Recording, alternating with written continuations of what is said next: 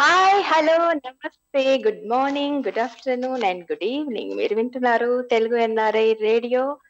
ఇది ప్రవాసాంధ్రుల గుండె చప్పుడు. మాటే మంత్రం పాటే మధురం కార్యక్రమానికి స్వాగతం సుస్వాగతం. నేను మీ అజయ్ పద్మజ. అండ్ ఈ రోజు మన షోలో పాటలు ఉండవు కానీ బోల్డ్ అన్ని మాటలు ఉంటాయి. అవి కూడా మంత్రం లాంటి మాటలు. మరి తన మంత్రం లాంటి మాటల్ని మనతో పంచుకోవడానికి మన షోలో ఈరోజు ఒక విశిష్ట అతిథి మనతో పాటుగా ఉన్నారు.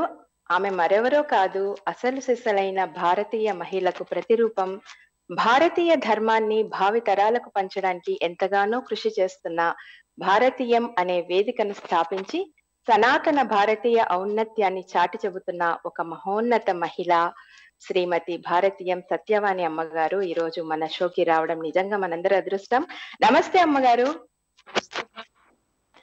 ఎలా ఉన్నారమ్మా? నేను బాగున్నానమ్మా. సో మా రేడియో మా రేడియోకి ఇంటర్వ్యూ ఇవ్వడానికి మా కోసం మీ విలువైన సమయాన్ని కేటాయించినందుకు మీకు మా రేడియో తరఫున చాలా చాలా ధన్యవాదాలు అమ్మగారు. కూడా ధన్యవాదాలు శుభాకాంక్షలు. మీతో మాటలు పంచుకోవడం నాకు కూడా చాలా ఆనందాన్ని కలిగిస్తుంది. చాలా సంతోషం అమ్మా. సో ముందుగా మీకు భారతీయం సత్యవాణి అనే పేరు ఎలా వచ్చిందమ్మా? అంటే మీరే పెట్టుకున్నారా లేక ఎవరైనా మీకు బిరుదుగా అందించారా ఆ పేరుని? ఎలా వచ్చిందంటే ముందు అసలు నేను పెట్టింది సౌశీల్య అకాడమీని ప్రారంభం చేశానమ్మా. మూడు వందల ఎనభై ఆరు ఎనభై ఏడు సంవత్సరంలో. పెట్టాను అంటే సమాజంలో జరుగుతూ ఉన్నటువంటి కొన్ని సంఘటనలను కొంత నేపథ్యాన్ని గమనించి బాధ కలిగింది. ఏదైతే చదువు విద్య వివేకము అని అంటూ మనం చదువుకుంటున్నామో ఆ. చదువుకున్న వాళ్ళే ఎక్కువగా నేరాలకు పాల్పడటం చూసి నాకు చాలా బాధ అనిపించింది. ఎందుకు జరుగుతోంది అని నేను బాగా పరిశీలిస్తే ఒకప్పుడు విద్యలో మోరల్స్ ఉండేవి. అవునమ్మా. ఉండేది మోరల్ ఎడ్యుకేషన్ ఉండేది శతక పద్యాలు ఉండేవి మనకి. అవునా? భగవత్ తత్వాన్ని ప్రకృతి తత్వాన్ని సృష్టి ధర్మాలన్నింటినీ కూడా బోధిస్తూ చిన్న చిన్న పద్యాల రూపంలోనే జీవిత సారాన్ని మనకి బోధించేవారు. కాబట్టి ఈ చదువు పాఠ్యాంశాల కంటే కూడా అవి ఎక్కువగా మనం గుర్తు పెట్టుకుని మన జీవితానికి కూడా అన్వయించుకుని ఆ విధంగా బ్రతికాం. ఆ తాత్పర్యాన్ని వంట పట్టించుకున్నాం. అయితే రాను రాను ఎప్పుడైతే ఇంగ్లీష్ ఎడ్యుకేషన్ ఎప్పుడైతే ఈ బ్రిటిష్ వాళ్ళు వచ్చిన తర్వాత మనకి మమ్మీ డాడీ చదువులను అంటగట్టి మన గురు పద్ధతిని ఎప్పుడైతే దూరంగా నెట్టేశారో మన వేదాలు మన రామాయణ భారత ఇతిహాసాలు అసలు పాఠ్యాంశాలలో లేకుండా ఒకప్పుడు మన హ్యాండిటైల్ అని ఉండేది తెలుసు కదమ్మా నీకు? తప్పకుండా పుస్తకం ద్వారా మనకి రామాయణ భారతాల్లో గాథల్ని చక్కగా చదివించి వాటి సారాన్ని వ్యాసరచన పోటీలు పెట్టి డిబేట్స్ కండక్ట్ చేసి అలాగే గోడల నిండా చక్కగా సూక్తులు రాసి ఎప్పటికప్పుడు మనల్ని మేలుకొల్పుతూ మానవ ధర్మాన్ని చెడిపోనీయకుండా కాపాడుకుంటూ వచ్చేవారు ఆనాటి గురువులు. అవునమ్మా. రాను ఎప్పుడైతే ఎడ్యుకేషన్ సిస్టమ్లో మార్పు వచ్చిందో అప్పుడు సమాజం దారి తప్పుతోంది అనేటటువంటిది నాకు అనిపించింది. వెంటనే నేను సౌశీల్య అకాడమీని ప్రారంభం చేసి చాలా స్కూల్స్కి వెళ్ళి నాకు కొంచెం అవకాశం ఇస్తే కొంచెం సేపు పిల్లలతో నేను మాట్లాడుకుంటానండి అని. అప్పుడు మాకు మన్నవ గిరిధర్ రావు గారు ఉండేవారు ఆయన ఎమ్మెల్సీగా చేసేవారు గుంటూరులో. వారు. చాలా కావలసిన చిన్న చిన్న పుస్తకాలు రచించారు. పిల్లలకి చదువుకుంటే బహుమతి ఎలా చదవాలి కాంతి రేఖలు ఏమ్మా ఇలాంటివన్నీ కూడా చక్కగా రాసి ఆ పుస్తకాలన్నీ ఎక్కువగా ప్రింట్ చేయించి నేను ఆ టీచర్స్కి ఇవ్వడం మొదలెట్టా. మీరు ఈ విధంగా పిల్లలకి అప్పుడప్పుడు పాఠ్యాంశాలకు మధ్య ఈ స్టోరీస్ మీరు చెప్తూ ఉండండి సంఘటనలు చెప్తూ ఉండండి దేశభక్తిని పెంపొందించండి వాళ్ళలో అంటూ ఇస్తూ పోతూ ఉన్నటువంటి రోజుల్లో ఎప్పుడైతే అట్లా జరుగుతూ ఉన్న నేపథ్యంలో ఇక ప్రసార మాధ్యమాల్లో ముఖ్యంగా ఈ అశ్లీల సాహిత్యము అలాగే సినిమాలో వస్తున్నటువంటి హారర్ దృశ్యాలు భయానకమైనటువంటి అప్సీనిటీ ఒలువలు విప్పేసినటువంటిది విలువలు పూర్తిగా తాకట్టు పెట్టిన సన్నివేశాలు ఇవన్నీ చూసి ఇంకా బాధ కలిగి ఇక్కడ హైదరాబాద్లో చాలా మంది మేధావులను మా ఇంటికి పిలిచి ఏమిటి మరి ఇలా చూస్తూ ఊరుకోవడమేనా? సమాజానికి మనవంతుగా చేయవలసింది ఏమైనా ఉందా? అని అందరినీ కలిపి ఒక మీటింగ్ పెట్టాం. ఆ మీటింగ్ పెట్టినప్పుడు అందరు భావజాలాన్ని పంచుకున్న తర్వాత ఇక్కడ ఉన్న స్వచ్ఛంద సేవా సంస్థలన్నింటినీ కలిపి ఒక మాలగా గుచ్చి దానికి భారతీయమని పెట్టుకున్నాం పేరు. అలా. భారతీయమైన సంస్థని కన్వీనర్గా నేను ఉంటూ అనేక కార్యక్రమాలు ఇక్కడ నేను నిర్వహించడం జరిగింది. చాలా సార్లు ఒక ఉద్యమంగా పోరాటం జరిగింది. ఆ నేపథ్యం నాకు భారతీయం సత్యవాణి అనేటటువంటి పేరు అది ఇంటి పేరుగా మారిపోయిందమ్మా. అలా అలా మీకు భారతీయం అనే పేరు ఇంటి పేరుగా మారిపోయింది అనమాట మరి ఈ భారతీయం అనే సంస్థ ద్వారా మీరు ఎలాంటి పనులు చేస్తూ ఉంటారమ్మా? ఏ ఏ పనులు చేస్తూ ఉంటారు? మెయిన్ ఏం లేదు. ఇప్పుడు సామాజిక స్పృహను పెంచడం పౌరధర్మాన్ని మనం గుర్తు చేయటం మన మూలాలను మర్చిపోకుండా ఎప్పటికప్పుడు వాళ్ళని గుర్తు చేసుకుంటూ కొన్ని కార్యక్రమాల ద్వారా వాళ్ళలో ఒక మేలు కలుపుని తీసుకురావడం. సాహిత్యం కంటే కూడా మనకున్నటువంటి మంచి సాహిత్యం ఏదైతే ఉన్నదో ఉపనిషత్తులు కానివ్వండి మంచి కథలు కానివ్వండి మంచి రచనలు కానివ్వండి వాటిని కొంచెం ప్రజలకు అందుబాటులోకి అందించి వాళ్ళ చేత చదివించటం ఆ విధంగా మంచి పనులు చేస్తున్న వాళ్ళకి అప్పట్లో నేను సౌశీల్య అకాడమీ నుంచి సౌశీల్య అకాడమీ ఒక అవార్డు ఇచ్చేదాన్ని. ఉత్తమ టీచర్కి ఉత్తమ స్టూడెంట్కి బహుమతులు ఇవ్వడం ఆ విధంగా ప్రోత్సాహకాలను అందించడం. పిల్లలు దాదాపుగా దూరంగా మా క్షేత్రం ధర్మపురి క్షేత్రం ఇక్కడ నిర్మాణం చేశాను హైదరాబాద్లో ఉమ్, క్షేత్రానికి పిల్లల్ని అక్కడికి రప్పించి వాళ్ళకి వేసరచన పోటీలు పెట్టడం. ప్రతి పౌర్ణమికి పౌర్ణమి బృందావనం పెట్టి వాళ్ళ దూరంగా తీసుకువెళ్ళి ప్రకృతి ప్రకృతి ధర్మాలను వాళ్ళకి గుర్తు చేయటం మన మూలాలను వాళ్ళకి గుర్తు చేస్తూ చేయటం ఇలా ఇలా అనేక కార్యక్రమాలమ్మ చాలా చేశాం ఇప్పటి వరకు. కొన్ని వందల్లోనే. అటు చేనేత కార్మికులు కానివ్వండి రైతులు కానివ్వండి అలాగే హరికథ భాగవతారులు మనకి ఎవరైతే దైవాన్ని పరిచయం చేస్తారో అటువంటి హరికథ భాగవతులు సత్కరించడం కానివ్వండి నదీ జలాలు తెప్పించడం కానివ్వండి ఇన్ని రకాల ధాన్యాలు మనకి ప్రకృతికి చెందిన ధాన్యాలను కూడా గుర్తు చేయడం కానివ్వండి. ఇలా చెప్పుకుంటూ పోతే చాలా పెద్ద లిస్టే ఉందమ్మా. అలా సంగీత సాహిత్య నాట్య గురువులను సత్కరించుకోవడం వేద పండితులను సత్కరించుకోవడం ఇట్లా అనేక అనేక కార్యక్రమాలని అటు సామాజిక స్పృహను పెంచుతూ దేశభక్తిని పెంపొందిస్తూ జాతీయ భావాన్ని పెంపొందిస్తూ దేవుడు దేశము వేరు కాదు సమాజము వేరు కాదు సమాజము దైవము ధర్మము ఈ మూడు ఒకటే. మూడు స్థితులుగా గోచరిస్తున్నాయి అనే విషయాన్ని నేపథ్యంగా తీసుకుని మన కార్యక్రమాలు ఇక్కడ చాలా నిర్వహించడం జరుగుతుంది తల్లి. అమ్మ నేను ఇంపాక్ట్ క్లాసెస్ కూడా మీరు సభల్లో చాలా పాల్గొన్నారు. ఆ కొన్ని స్పీచెస్ కూడా విన్నాను. మీరు ఇంతవరకు ఎంతమంది విద్యార్థులకు అంటే మీ స్పీచ్ స్పీచెస్ ఇచ్చారమ్మా? మీ ప్రసంగాలు. నైన్టీన్ ఎయిటీ సెవెన్ నుంచి కనుక నేను లెక్కించుకుంటేమో నేను సందర్శించిన కళాశాలలు కానివ్వండి స్కూల్స్ కానివ్వండి రెండు కోట్ల పైబడినటువంటి విద్యార్థుల్నే నేను కలిశానమ్మ ఇప్పటివరకు. రియల్లీ గ్రేట్ అమ్మా. రెండు కోట్ల మంది విద్యార్థులు. నా పిల్లలందరూ కలిసి నాకు ఇచ్చిన ఒక టైటిల్ తెలుసా? అమ్మమ్మ ఆంధ్రప్రదేశ్ నాన్నమ్మకు తెలంగాణ. యా నెక్స్ట్ నేను అదే అడగబోతున్నానమ్మా మీరే చెప్పేశారు. సో చాలా అంటే ఎలా ఉండేది వాళ్ళ స్పందన మీరు అలా చెప్పేటప్పుడు మీ ప్రసంగాలు ఇచ్చేటప్పుడు ఆ తర్వాత ఎలా ఉండేది వారి స్పందన? ఎలా అంటే అమ్మా ఇప్పటి వరకు పిల్లలు చాలా మంచి పిల్లలమ్మా. పుట్టేటప్పుడు ఒక తెల్లటి కాగితం లాగా పుడతారు. అవునమ్మా అవును. కాగితమైన వాళ్ళ మనసుల్లో హృదయంలో మాలిన్యాన్ని నింపేది ఎవరు? పెద్దలే ఇంకెవరు మనమే. ఏమో టీచర్ అబద్ధం ఆడితే తప్పు అంటాడు అవును. వాళ్ళు ఆ పక్కింటి వాళ్ళు ఏదో అడిగినప్పుడు మన గబుక్కున తల్లిదండ్రులే అబద్ధం ఆడేస్తాం మనం. ఏమో అబద్ధం ఆడొద్దంది మరి అమ్మా నాన్న అబద్ధం ఆడిస్తున్నారు నన్ను లేరని చెప్పరా నాన్న ఇంట్లో లేడని చెప్పు ఎవరైనా. ఏదో వస్తూ కాఫీ పొడి కోసం లేదా టమాటా కోసం వస్తే ఇంట్లో లేవని ఇదేంటి నాన్న రాత్రే కదా మరి తెచ్చాడు ఇదేంటి ఇట్లా లేవని చెప్తున్నావు ఏమిటి మరి అబద్ధం ఆడు వీడికి ఇవన్నీ కూడా వస్తూ ఉంటాయి. వాళ్ళ పాపం తెల్లటి కాగితం లాంటి పిల్లలు కదా వాళ్ళకి అవునమ్మా అవును. అంటే మనం ఏం చేస్తే మన పిల్లలు అదే నేర్చుకుంటారమ్మా. మనల్ని చూసే కదా మన పిల్లలు నేర్చుకునేది. పాట ఉంది కదరా పిల్లలు దేవుడు చల్లని అవునమ్మా. కరుణ కరుణామయులు. అలాంటి పిల్లలని చిన్న మనం పెంచే విధానంలోనే కొంత ఇది వచ్చేసేసరికి వాళ్ళకి కన్ఫ్యూజన్లో పడిపోతున్నారు. అవునమ్మా ఏది మాట్లాడాలో ఏది చేయాలో ఏది చేయకూడదో నిజంగా వాళ్ళు చాలా కన్ఫ్యూజన్లో ఉన్నారు. ఇప్పుడు మనతో పాటు ఒక ఆత్మీయులు ఉన్నారమ్మా ఒకసారి పలకరిద్దాము. హలో కాక గారు? నమస్కారం అండి పద్మజ గారు. నమస్తే అండి నమస్తే అండి. ఎలా ఉన్నారండి? బాగున్నానండి మీరు బాగున్నారా? ఆ బాగున్నాను. సో అమ్మగారితో మాట్లాడండి.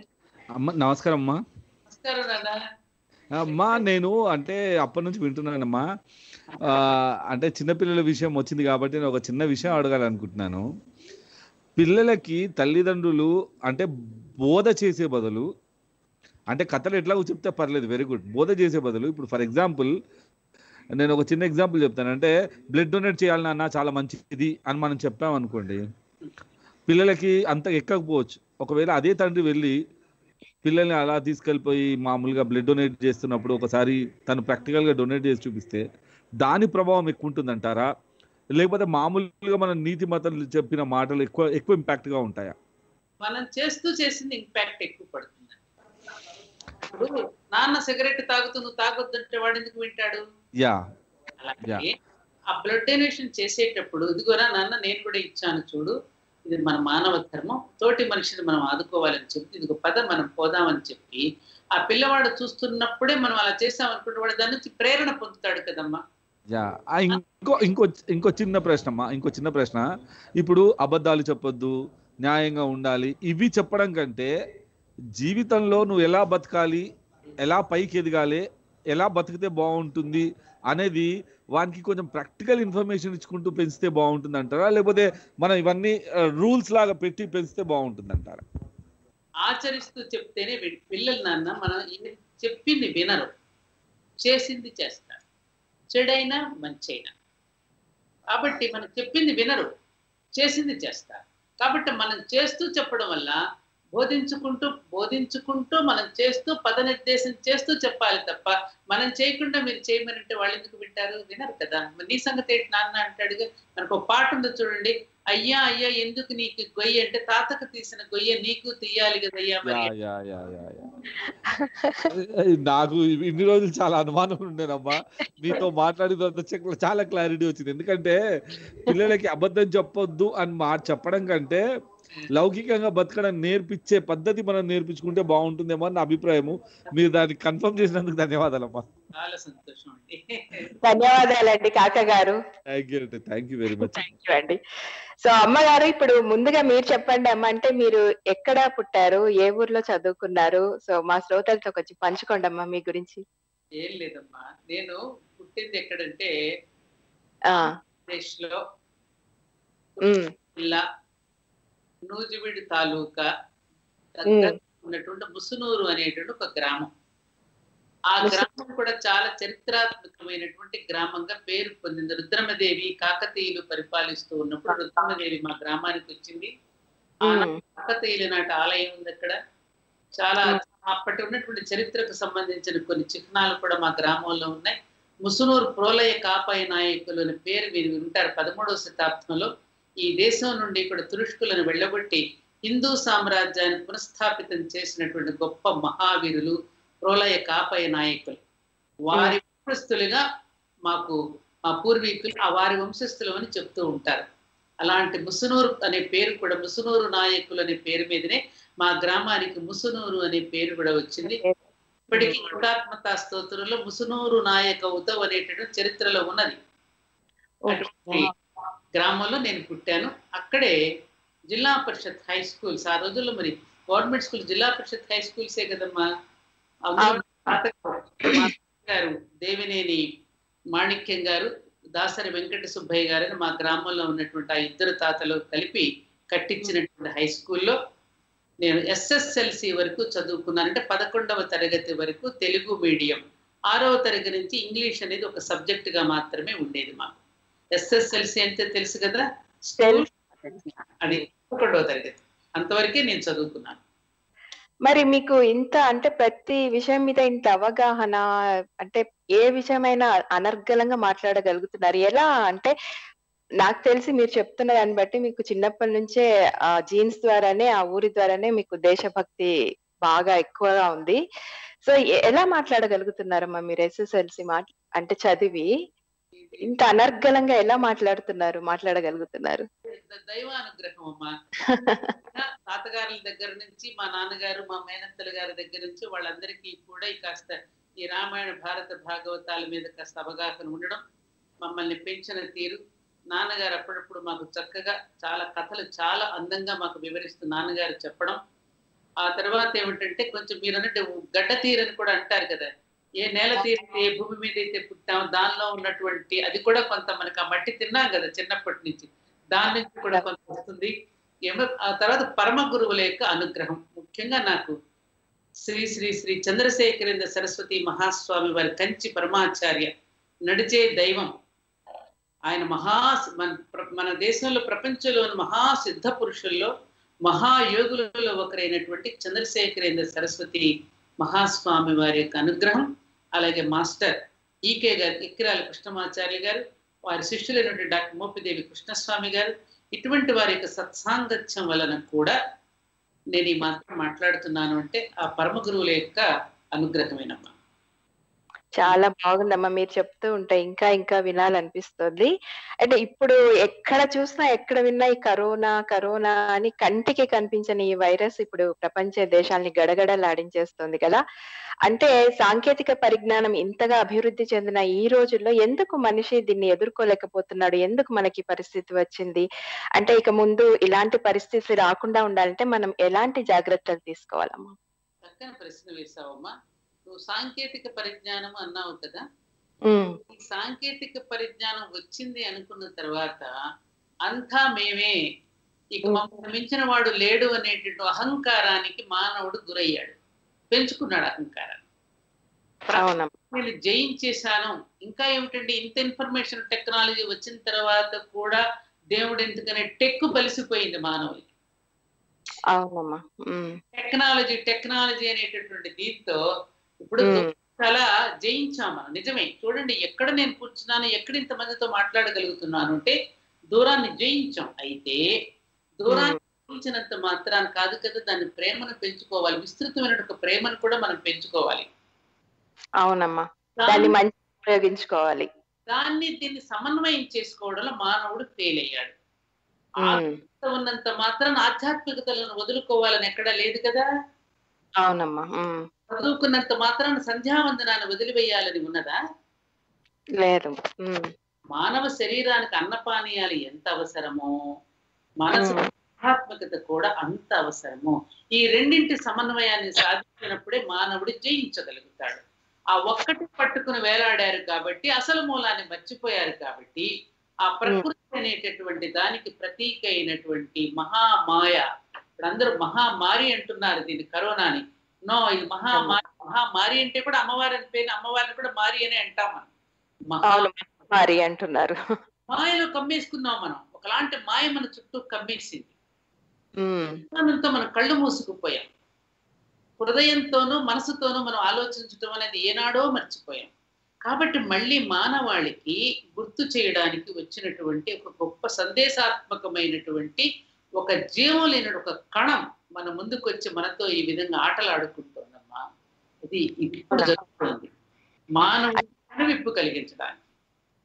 అంటే మానవుడు అంటే ఆక్రమించని చోటు అంటూ లేదు కదా. అసలు వేరే ప్రాణులకు మనకు మనము స్థలం లేకుండా చేశాం కదా. ఆకాశం భూమి సముద్రము ఎక్కడ భూమి లోపల ఎక్కడ చూసినా ఆక్రమించేసి దాన్ని కాలుష్య కాలుష్యం చేసేస్తున్నాం మనము. సో అందుకే ఇలాంటి పరిస్థితి వచ్చిందా వచ్చిందంటారమ్మా? అంతే. ఇప్పుడు ఒక్కసారి చూడండి తల్లి. ఒకసారి ప్రకృతిని గనుక మనం నిశ్చితంగా గనుక పరిశీలిస్తే ప్రకృతిని పరిశీలించడానికి ఒక గొప్ప అవకాశం కూడా కలిగింది మనకి. ఎందుకంటే ప్రకృతి సౌందర్యాన్ని చక్కగా తిలకించగలుగుతున్నాం ఈ లాక్డౌన్ వల్ల. అవును మంచి విషయాలు కూడా జరిగాయి దీనివల్ల. జంతువులు కూడా ఇవన్నీ చక్కగా హాయిగా విహారం చేయగలుగుతున్నాయి. మంచి ఆక్సిజన్ పీల్చగలుగుతున్నాయి. కాలుష్యం కూడా చాలా తగ్గిపోయింది. ఆ ఓజోన్ని దెబ్బతీసేసాం మన యొక్క సాంకేతిక పరిజ్ఞానం చేత స్వార్థం కోసం మనమే ఒక్క ఇంట్లోనే తొంభై ఏసీలు ఉంటున్నాయి. ఒక అపార్ట్మెంట్లో కొన్ని వందల ఏసీలు ఉంటున్నాయి. మన కార్ల నిండా మన కాలుష్యాన్ని శబ్ద కాలుష్యాన్ని వాయు అన్నింటిలోనూ నీటి కాలుష్యం అన్నింటిలోనూ కాలుష్యం నింపేసాం మనం. అవునమ్మా. కనుక ఒక్కసారి కనుక మనం సమయం తీసుకున్న బాల్కనీలోకి వెళ్ళి ఒక్కసారి ప్రకృతిని మనం కనుక బాగా పరిశీలిస్తే ఈ సృష్టి యొక్క విజ్ఞానం తెలుస్తుంది. ఎంత వైవిధ్యం. ఆకు లేదు చెట్టును పోలిన చెట్టు లేదు పండును పోలిన పండు లేదు జీవిని పోలిన జీవి లేదు. ఒక చెట్టులోనే ఒక పిందె ఒక కాయ ఒక పువ్వు ఒక మొక్క ఇన్ని రకాల వైవిధ్యాన్ని ఒక చెట్టులోనే చూస్తున్నాం మనం. ఆ చెట్టులో ఉన్నదాన్ని కాసేపు పసి మొక్క అంటున్నాం అది పెరిగిన తర్వాత మళ్ళీ పువ్వు అంటున్నాం ముందు కాయ అంటున్నాం తర్వాత పండు అంటున్నాం కొమ్మ అంటున్నాం రెమ్మ అంటున్నాం వేర్లు అంటున్నాం ఇన్ని వైవిధ్యం ఒక చెట్టులోనే కానవస్తుంది. ఇదంతా గనక పరిశీలిస్తే విజ్ఞానం కలుగుతుంది. మళ్ళీ పరిశీలిస్తే మనకు వివేకం మేల్కొంటుంది. చూడండి. ఒక్క నిమిషం. ఒక ఖనిజాలను ఆధారంగా చేసుకుని వృక్షాలు బ్రతుకుతున్నాయి. అవునా కాదా? అవునమ్మా. ఖనిజాలను ఆధారం చేసుకుని వృక్షాలు బ్రతుకుతున్నాయి. వృక్షాలను ఆధారంగా చేసుకుని జంతువులు బ్రతుకుతున్నాయి. జంతువులను జంతువులను వృక్షాలను ఖనిజాలను ఆధారం చేసుకుని బ్రతుకుతున్నది ఎవరు? మానవుడు. తోటి వృక్షాన్ని తినడం లేదు. తోటి జంతువు తోటి జంతువుని తినలేదు. కానీ తోటి మానవుడు మాత్రం తోటి మానవుడిని హింసిస్తున్నాడు అవమానిస్తున్నాడు దూషిస్తున్నాడు తనకు అడ్డొచ్చాడంటే నరికేస్తున్నాడు చంపేస్తున్నాడు తినేస్తున్నాడు. అవునమ్మా. అవునా కదా? కను విప్పు కలిగించడానికి ఓ మానవుడా ఇంకా నువ్వు మారవా? మానవా? మానవా? ఇక మారు. ఇకనైనా నీ ప్రవర్తనను మార్చుకో అని చెప్పడానికి ప్రపంచం మొత్తానికి కలిపి చెప్తోంది ఒకేసారి. మామూలుగా మనకి ఇంతకు ముందు వైరస్లు వచ్చినప్పుడు కొద్ది కొద్దిగా అక్కడక్కడ కనిపించేది మనకి. కానీ ఇప్పుడు ఏం ప్రపంచం మొత్తానికి అలజడి రేపింది. అవునమ్మా. అసలు ఇలాంటి పరిస్థితి ఎప్పుడూ రాలేదనుకుంటాను కదమ్మా. ఎప్పుడు రా ఎక్కడ చరిత్రలో మనం వినలేదు. చరిత్రలో లేదు అవును. మరి అమ్మగారు భారతదేశం చాలా విశాలమైన దేశం కదా. నూట ముప్పై కోట్లకు పైగా జనాభా గల దేశం మన దేశం. మామూలుగా సాధారణంగా భారతీయులకు క్రమశిక్షణ లేదు వారికి శుభ్రత అంటే వారు శుభ్రత పాటించరు. ఇలా రకరకాల అపవాదులు ఉన్నాయి కదా మన దేశం మీద. పాశ్చాత్య దేశ దేశాల వారికి. అంతెందుకు మన వాళ్ళే కొన్ని రోజులు విదేశాల్లో ఉండి వస్తే ఇదే ఇదే అభిప్రాయాన్ని వ్యక్తపరుస్తూ ఉంటారు. అలాంటిది కరోనా వైరస్ని ఎదుర్కోవడంలో ఇంత సహనం ఇంత క్రమ- క్రమశిక్షణ పాటిస్తారని ఎవరూ అనుకోలేదు. దీనికి మీరేమంటారు అమ్మగారు. భారతదేశంలో శుభ్రత పాటించరు అనేటటువంటి విషయం చాలా తప్పు. అసలు శుభ్రతకు ప్రాధాన్యత ఇచ్చిందే మన భారతదేశం. ఎవరింటికి బంధువులు వచ్చినా ముందు ఫస్ట్ గేట్లోకి రాగానే కాళ్ళకు నీళ్ళు ఇచ్చి కాళ్ళు కడుక్కోమని. కడుక్కోమంటారు కడుక్కుని ముఖం కడుక్కు స్నానం చేసి రండి భోజనం చేద్దరు గాని అంటాం. పిల్లలు స్కూల్ నుంచి రాగానే కాళ్ళు చేతులు ముఖం కడుక్కురా అన్నం పెడతానంటారు. ముందు బట్టలు మార్చేసుకునిరా అంటారు. మనం మనం మనం పూజలు ఆచరించేటప్పుడు హస్తో ప్రక్షాళయామి పాదవ ప్రక్షాళయామి ఆచమనం సమర్పయామి అంటూనే కదా మనం చేసేది పూజాధికారికి కూడా. అవునమ్మా వ్యక్తిగత శుభ్రత మన భారతీయులకి చాలా ఎక్కువ.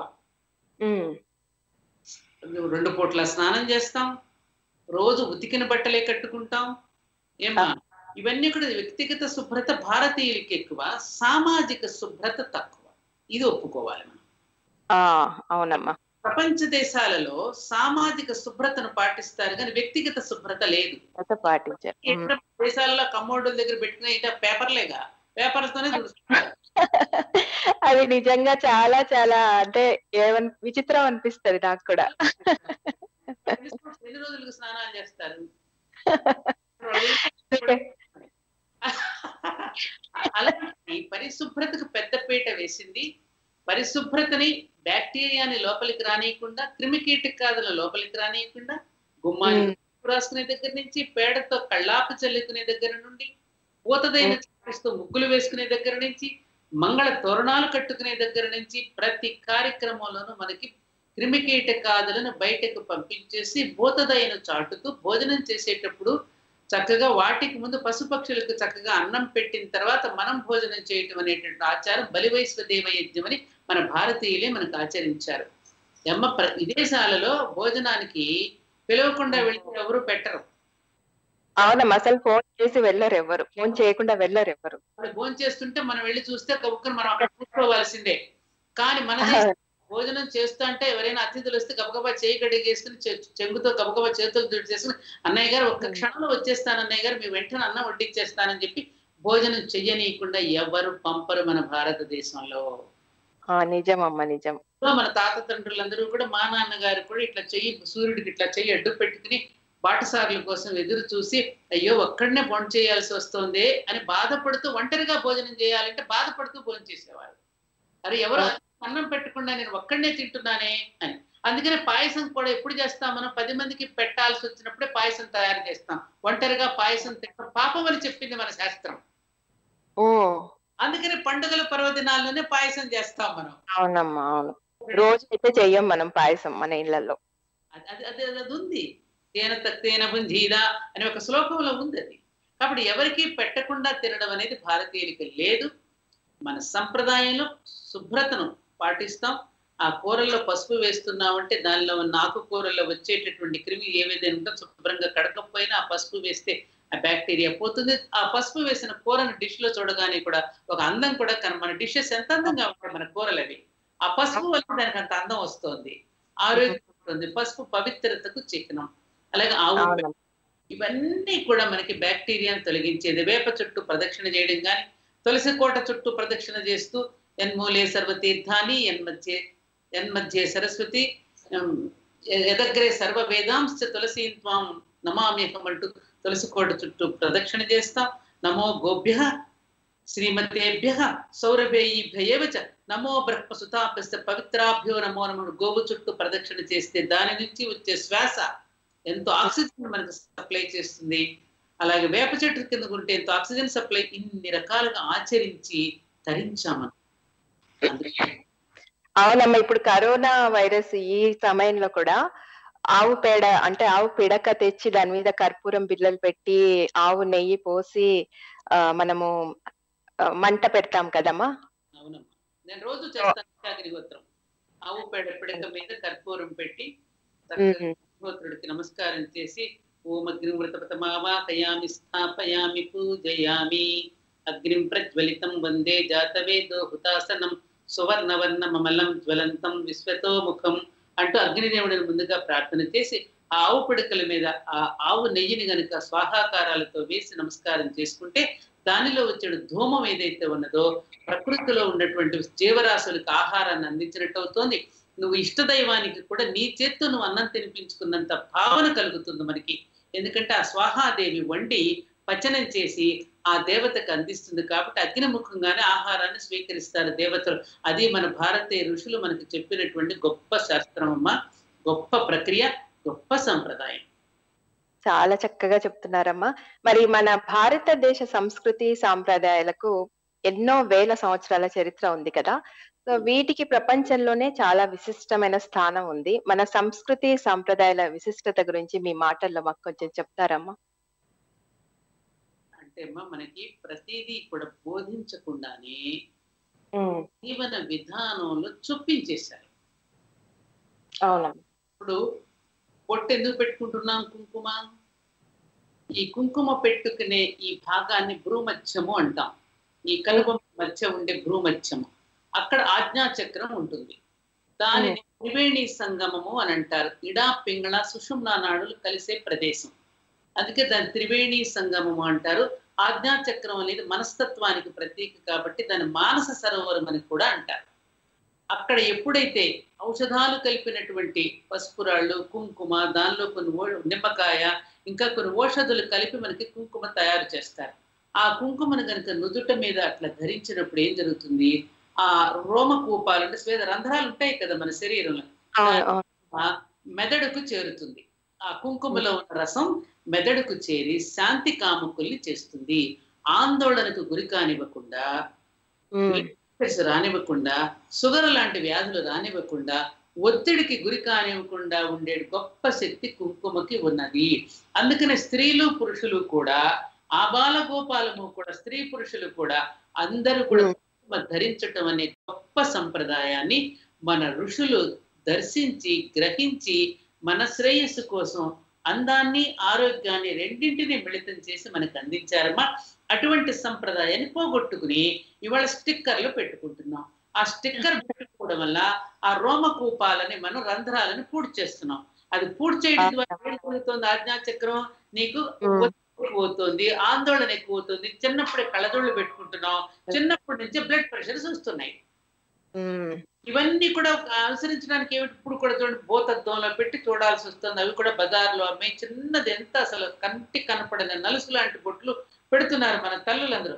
అసలు మన తల్లులే కదా సంస్కృతికి ప్రతీకలు. మన తల్లులే కదా సంప్రదాయాన్ని నిలబెట్టేది. ఆ తల్లి చెడిపోతే ఆ తల్లులే సాంప్రదాయాన్ని వదిలేస్తే ఇంక సాంప్రదాయాన్ని బతికించేది ఎవరు?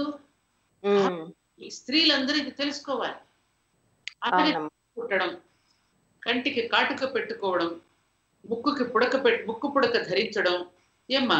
కాలికి మెట్టెలు పెట్టుకోవడం మెడలో మాంగళ్యం ధరించడం చేతికి గాజులు పెట్టుకోవడం ఇవన్నింటి వెనుక శాస్త్రీయత ఆరోగ్యమే ఉంది అంటే ఇప్పుడు మంగళసూత్రం కూడా తీసేసి వెళ్ళిపోతున్నారమ్మా ఆఫీసులకి. అది ఎందుకు అనవసరంగా అడ్డు అని చెప్పి. ఒక మంగళసూత్రం ఇస్తున్నారుగా. ఈ ఐటీ వాళ్ళందరికీ మెడలో తాడు వేసుకునేదో బెళ్ళ వేసుకుంటారు కదమ్మా. అదేదో కార్డు లాంటిది. అవునమ్మా కార్డు జీవితానికి కావలసిన సూత్రం జీవన సూత్రం మంది ఇది. ఏది? మంగళ సూత్రం అవునమ్మా అవలంబించే సూత్రం ఈ మంగళ సూత్రం అదే. ఉపాధి కోసం వేసుకునేటటువంటి అది ఒక ఉపాధి సూత్రం. పాప మరి తప్పదు వాళ్ళకి ఐడెంటిటీ కోసం. అది దాన్ని తప్పు పట్టడం లేదు. కానీ ఈ మాంగళ్యం ధరించటం అనే దాంట్లో చాలా గొప్ప అర్థం ఉందమ్మా. తలకాయలోనే జ్ఞానేంద్రియాలని తలకాయలో ఉన్నాయి. అవునా? కర్మేంద్రియాలన్నీ మన బాడీ బాడీ మొండంలో ఉన్నాయి. ఈ తలకాయని మొండాన్ని జాయింట్ చేసే భాగం ఏది మన శరీరంలో మెడకాయ. నీకు మెడకాయ మీద తలకాయ ఉందిరా అంటాం మనం. మెడకాయ మీద తలకాయ ఉందా? మోకాల్లో ఉందా నీ తలకాయ అంటావా? అంటారు కర్మేంద్రియాల్ని అనుసంధానం చేసుకుంటూ ఈ మంగళసూత్రం ధరించడం వల్ల. ఈ కర్మ ఈ జ్ఞానము రెండు కూడా స్లైముంటేస్గా నడవవలసినటువంటి రెండు రెండు పట్టాల లాంటివి రైలు పట్టాల లాంటివి. కాబట్టి ఆ సూత్రాన్ని ఎప్పుడైతే ధరిస్తున్నావో ఒకరికి ఒకరుగా ఒకరికి ఒకరుగా అర్ధనారీశ్వర తత్వంతో జీవింతురుగాక. అందుకని ఏమంటాడు? పురుషుడు కూడా మంగళసూత్రం కట్టినప్పుడు నా ఉమ్. జీవితానికి అర్థం నువ్వే సుమా మాంగళ్యం తంతునానేన మమ జీవన హేతునా. నీ మెడలో కట్టిన ఈ మాంగళ్యం ఏదైతే ఉన్నదో అది నా జీవితానికి అర్థము పరమార్థము ఇదే. నువ్వు లేకపోతే నాకు ఐడెంటిటీ లేదు నువ్వు లేకపోతే నేను జీరోని నువ్వు ఉంటేనే పక్కన నేను హీరోని అవుతాను.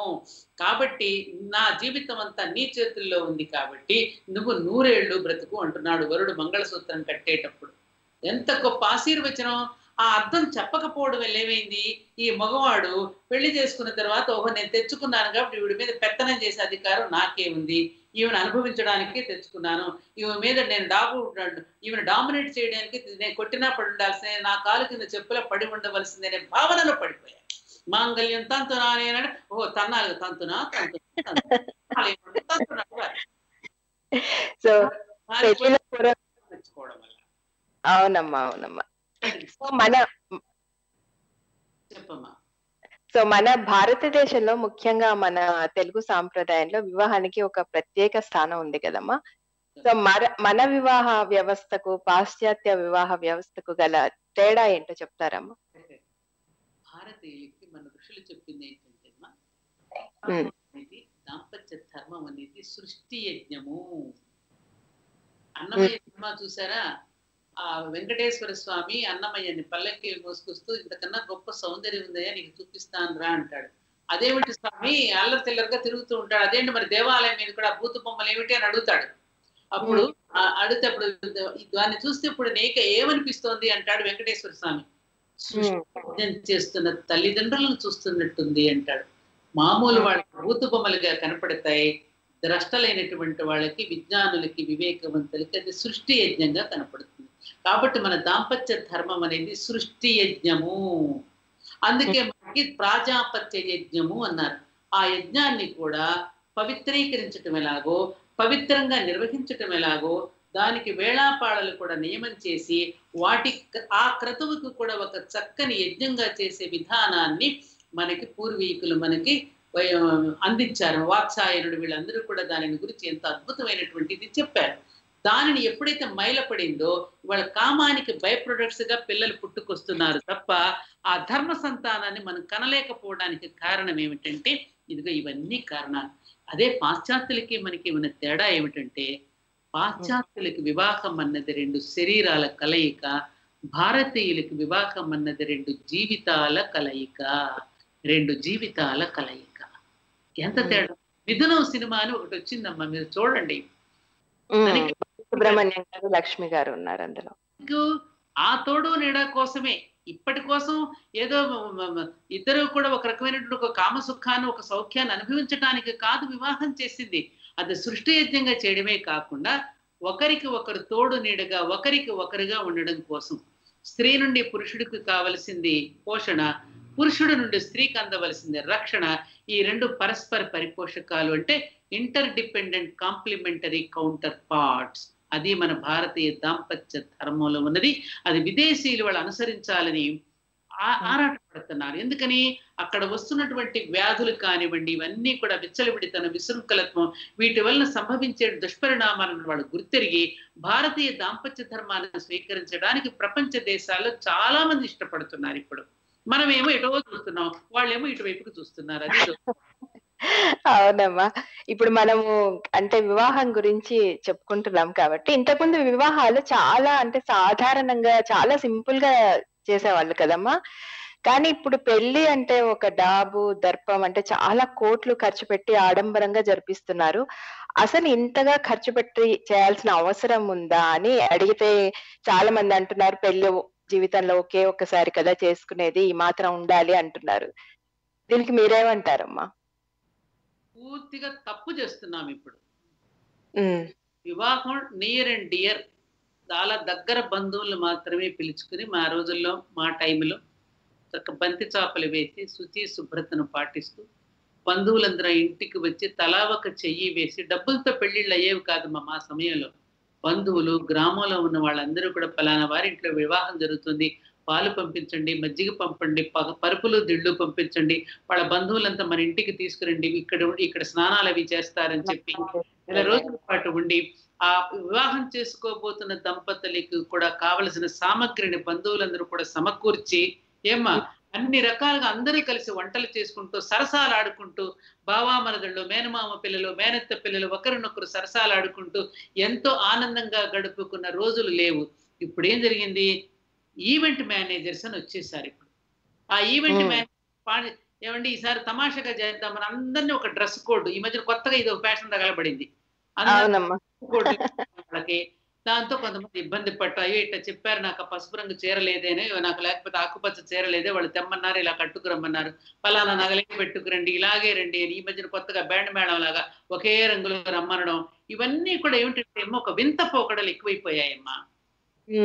తర్వాత చిన్న మనకు అసలు పెళ్ళి వివాహం అంటే లక్ష్మీనారాయణతో భావిస్తాం వధూవరుల్ని. అది పవిత్రమైనటువంటి ఒక పవిత్ర క్రతువుగా మనం నిర్వహిస్తే ఇక్కడ కూడా ఈ మధ్యన మాంసాహారాలు పెట్టడం కాక్టైల్ సాయంకాలం రాగానే కాక్టైల్ పార్టీస్ అని చెప్పడం పిల్లలు తండ్రులు తండ్రులు అందరూ కూర్చొని తాగడం ఆడవాళ్ళు కూడా బాగా తాగుడుకు అలవాటు పడిపోవడం విచిత్రమైనటువంటి విచిత్రమైన విచిత్రాతి విచిత్రమైనటువంటి పోకడలు ఈ మధ్యన బాగా పరాకాష్ఠకు వెళ్ళిపోతున్నాయి. వాళ్ళంత భోజనాలు పారేయడం ఒక్కటి వెళ్ళి తిందామంటే తినడానికి వీల్లేదు. ఇవాళ కరోనా వచ్చిందంటే మా భోజనాల దగ్గర ఒక ప్లేట్ ప్లేట్ పట్టుకుంటారు దగ్గర దగ్గర ఆనుకుంటారు తింటూ మాట్లాడతారు. ఆయన ఉమ్ము వచ్చి మన ప్లేట్లో పడుతుంది మనం ఉమ్మెళ్ళి. ఆయన ప్లేట్లో పడుతుంది ఉమ్, తినలేం. ఏవేవో పదార్థాలు పెడతారు ఏది రుచికరంగా ఉండదు. అన్ని కలిపి తీసుకెళ్ళి డస్ట్బిన్లో పారేయటం అన్నం వృధా చేయటం. అన్నం వృధా చేసి అన్నం పరబ్రహ్మ స్వరూపంగా భావించిన భారతదేశం మరి నేల తల్లి ఊరుకుంటుందా? రైతులేమో అక్కడ అల్లల్లాడిపోతున్నారు. ఇక్కడ చూస్తే మనం ఇంత అన్నం పారేస్తున్నాం. అన్ని వేస్టేజ్ అవుతుందమ్మా. అసలు ఎన్ని రకాలు పెడతారో? అనవసరం అన్ని రకాలు పెట్టడం కూడా.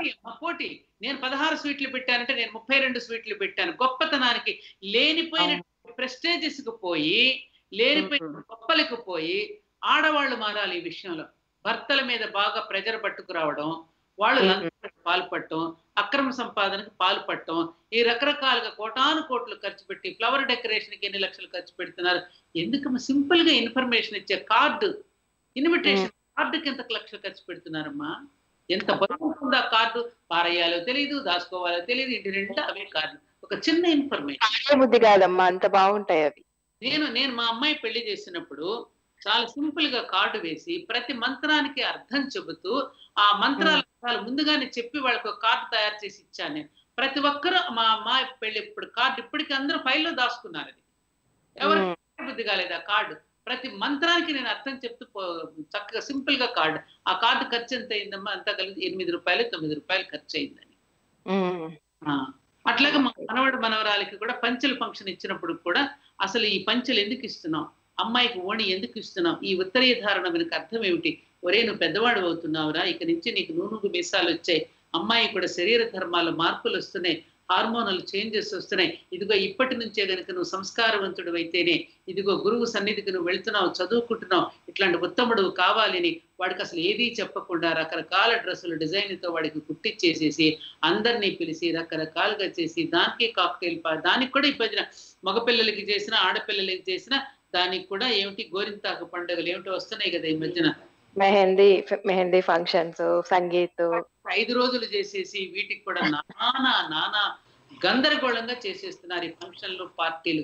ఈవెంట్ మేనేజర్స్ పుణ్యమా అంటూ ఆ కుక్కీలు కవర్లు దొడగడం అక్కడ నుంచి ఎంతెంత డబ్బమ్మ ఎంతెంత డబ్బ ఉత్తి చేస్తారో లేదో అది ఏం చేస్తారో తెలియదు. ఎక్కడి నుంచి పట్టుకొస్తారో వస్తువులు అప్పటికప్పుడు దొరకడం లైట్లోనేమో అమెరికంతా కనపడదు ఇక్కడ దగదగలాడే లైట్లు చాలా లేమ్మా ఇంక ఇవన్నీ మాట్లాడుతుంటే పోటీ. అమ్మగారు మనతో పాటు పద్మ గారు ఉన్నారు. ఒకసారి పలకరిద్దాం. హలో పద్మ గారు. హలో హలో అండి పద్మజి గారు బాగున్నారా? అవునాను పద్మ గారు. అమ్మగారితో మాట్లాడండి. నమస్కారం అమ్మా బాగున్నారా అమ్మా. తల్లి బాగున్నారా? బాగున్నానమ్మా. నేను వంట చేసుకుంటూ మీ మాటలు వింటూ తన్మయత్వం అయిపోయాను. మీ నీలం అయిపోయాను మీ మాటల్లో.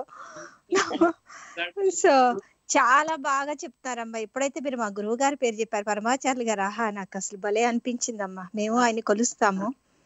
పరమాచార్య పరమాచార్యులు వారేనమ్మా. ఆ, చాలా సంతోషం అనిపించింది. మాకు ఆయన ఆయన పూజ గదిలో ఎక్కడ పడితే అక్కడ ఉంటారన్నమాట ఆయన మా ఇంట్లో. భలే అనిపిస్తుంది అనమాట చాలా ఆ, సంతోషం. చాలా అద్భుతంగా చెప్తారా చెప్తున్నా నేను కూడా కుంకుమ పెట్టుకుంటానమ్మా బొట్టు పెట్టుకో అంటే తిలకం కానీ స్టిక్కర్స్ కానీ పెట్టుకోను. దేవుడికి పూజ చేస్తాం కదా ఆ కుంకుమే పెట్టుకుంటాను. మీరు బాగా చెప్తుండే భలే అనిపించిందమ్మా నాకు. నాకు ఒక ప్రశ్న ఒకటి ఉందమ్మా. ఇప్పుడు నిజంగా అన్నదానము అంటే ఎవరికి చేస్తే అన్నదానం అవుతుంది? చాలా కన్ఫ్యూషన్గా ఉంది ఈ రోజుల్లో. అది కొంచెం మీరు వివరిస్తే నేను వింటూ ఉంటానమ్మా. చాలా బాగా చెప్తున్నారమ్మా. పద్మజి గారు థ్యాంక్ యూ సో మచ్ అండి. వారిని తీసుకొచ్చి మా అందరికి పరిచయం చేసినందుకు చాలా బాగుంది. చాలా చాలా తెలుసుకుంటున్నామమ్మా మీ ద్వారా. ఎన్నో తెలియని విషయాలు కూడా మేము తెలుసుకున్నా నాకు అసలు ఏమీ తెలీదు. అమ్మగారు చెప్తుంటే ఇప్పుడు నిజంగా ఆశ్చర్యంగా. అవును. అమ్మా మీరు చెప్తూ ఉండండి అమ్మా. మేము చక్కగా వింటుంటాము. ధన్యవాదాలు అమ్మా. మీరు ఇలా వచ్చి మా అందరితో మా మా అందరితో మంచిని పంచుకుంటున్నారు. నమస్కారాలమ్మా. ఉంటానమ్మా. బాయ్ అండి పద్మజి గారు. బాయ్ అండి బాయ్ అండి. సో అమ్మగారు ఆ పద్మ గారు పిట్స్బర్గ్లోనే అక్కడే ఉన్నారనమాట ఇప్పుడు అక్కడి నుంచి మాట్లాడారు.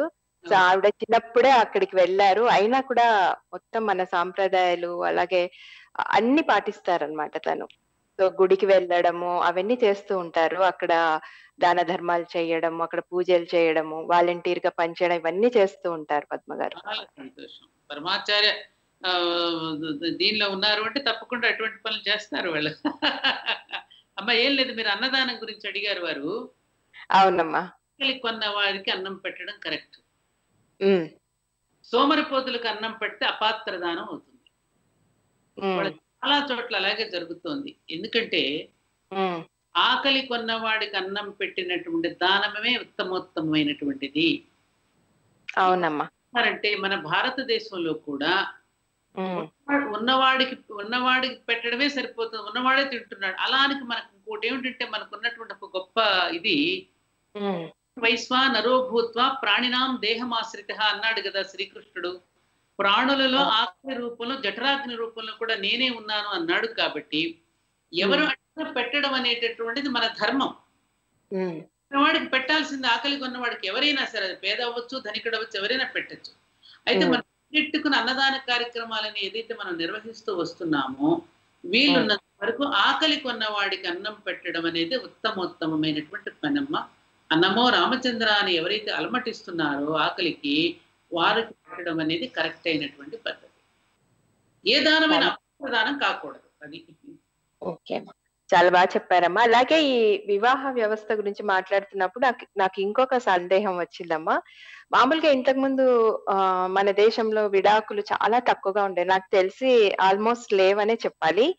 కానీ ఇప్పుడు చాలా చాలా పెరిగిపోయాయి. అంటే చిన్న చిన్న కారణాలతో కూడా భార్యాభర్తలు విడిపోతున్నారు. అసలు ఎందుకు ఇంత మార్పు వచ్చిందంటారు? ఎందుకంటే అవగాహన లేకపోవడం కలి కలి యొక్క ప్రభావం. కలి అంటేనే విడిపోవుట విభేదించుట.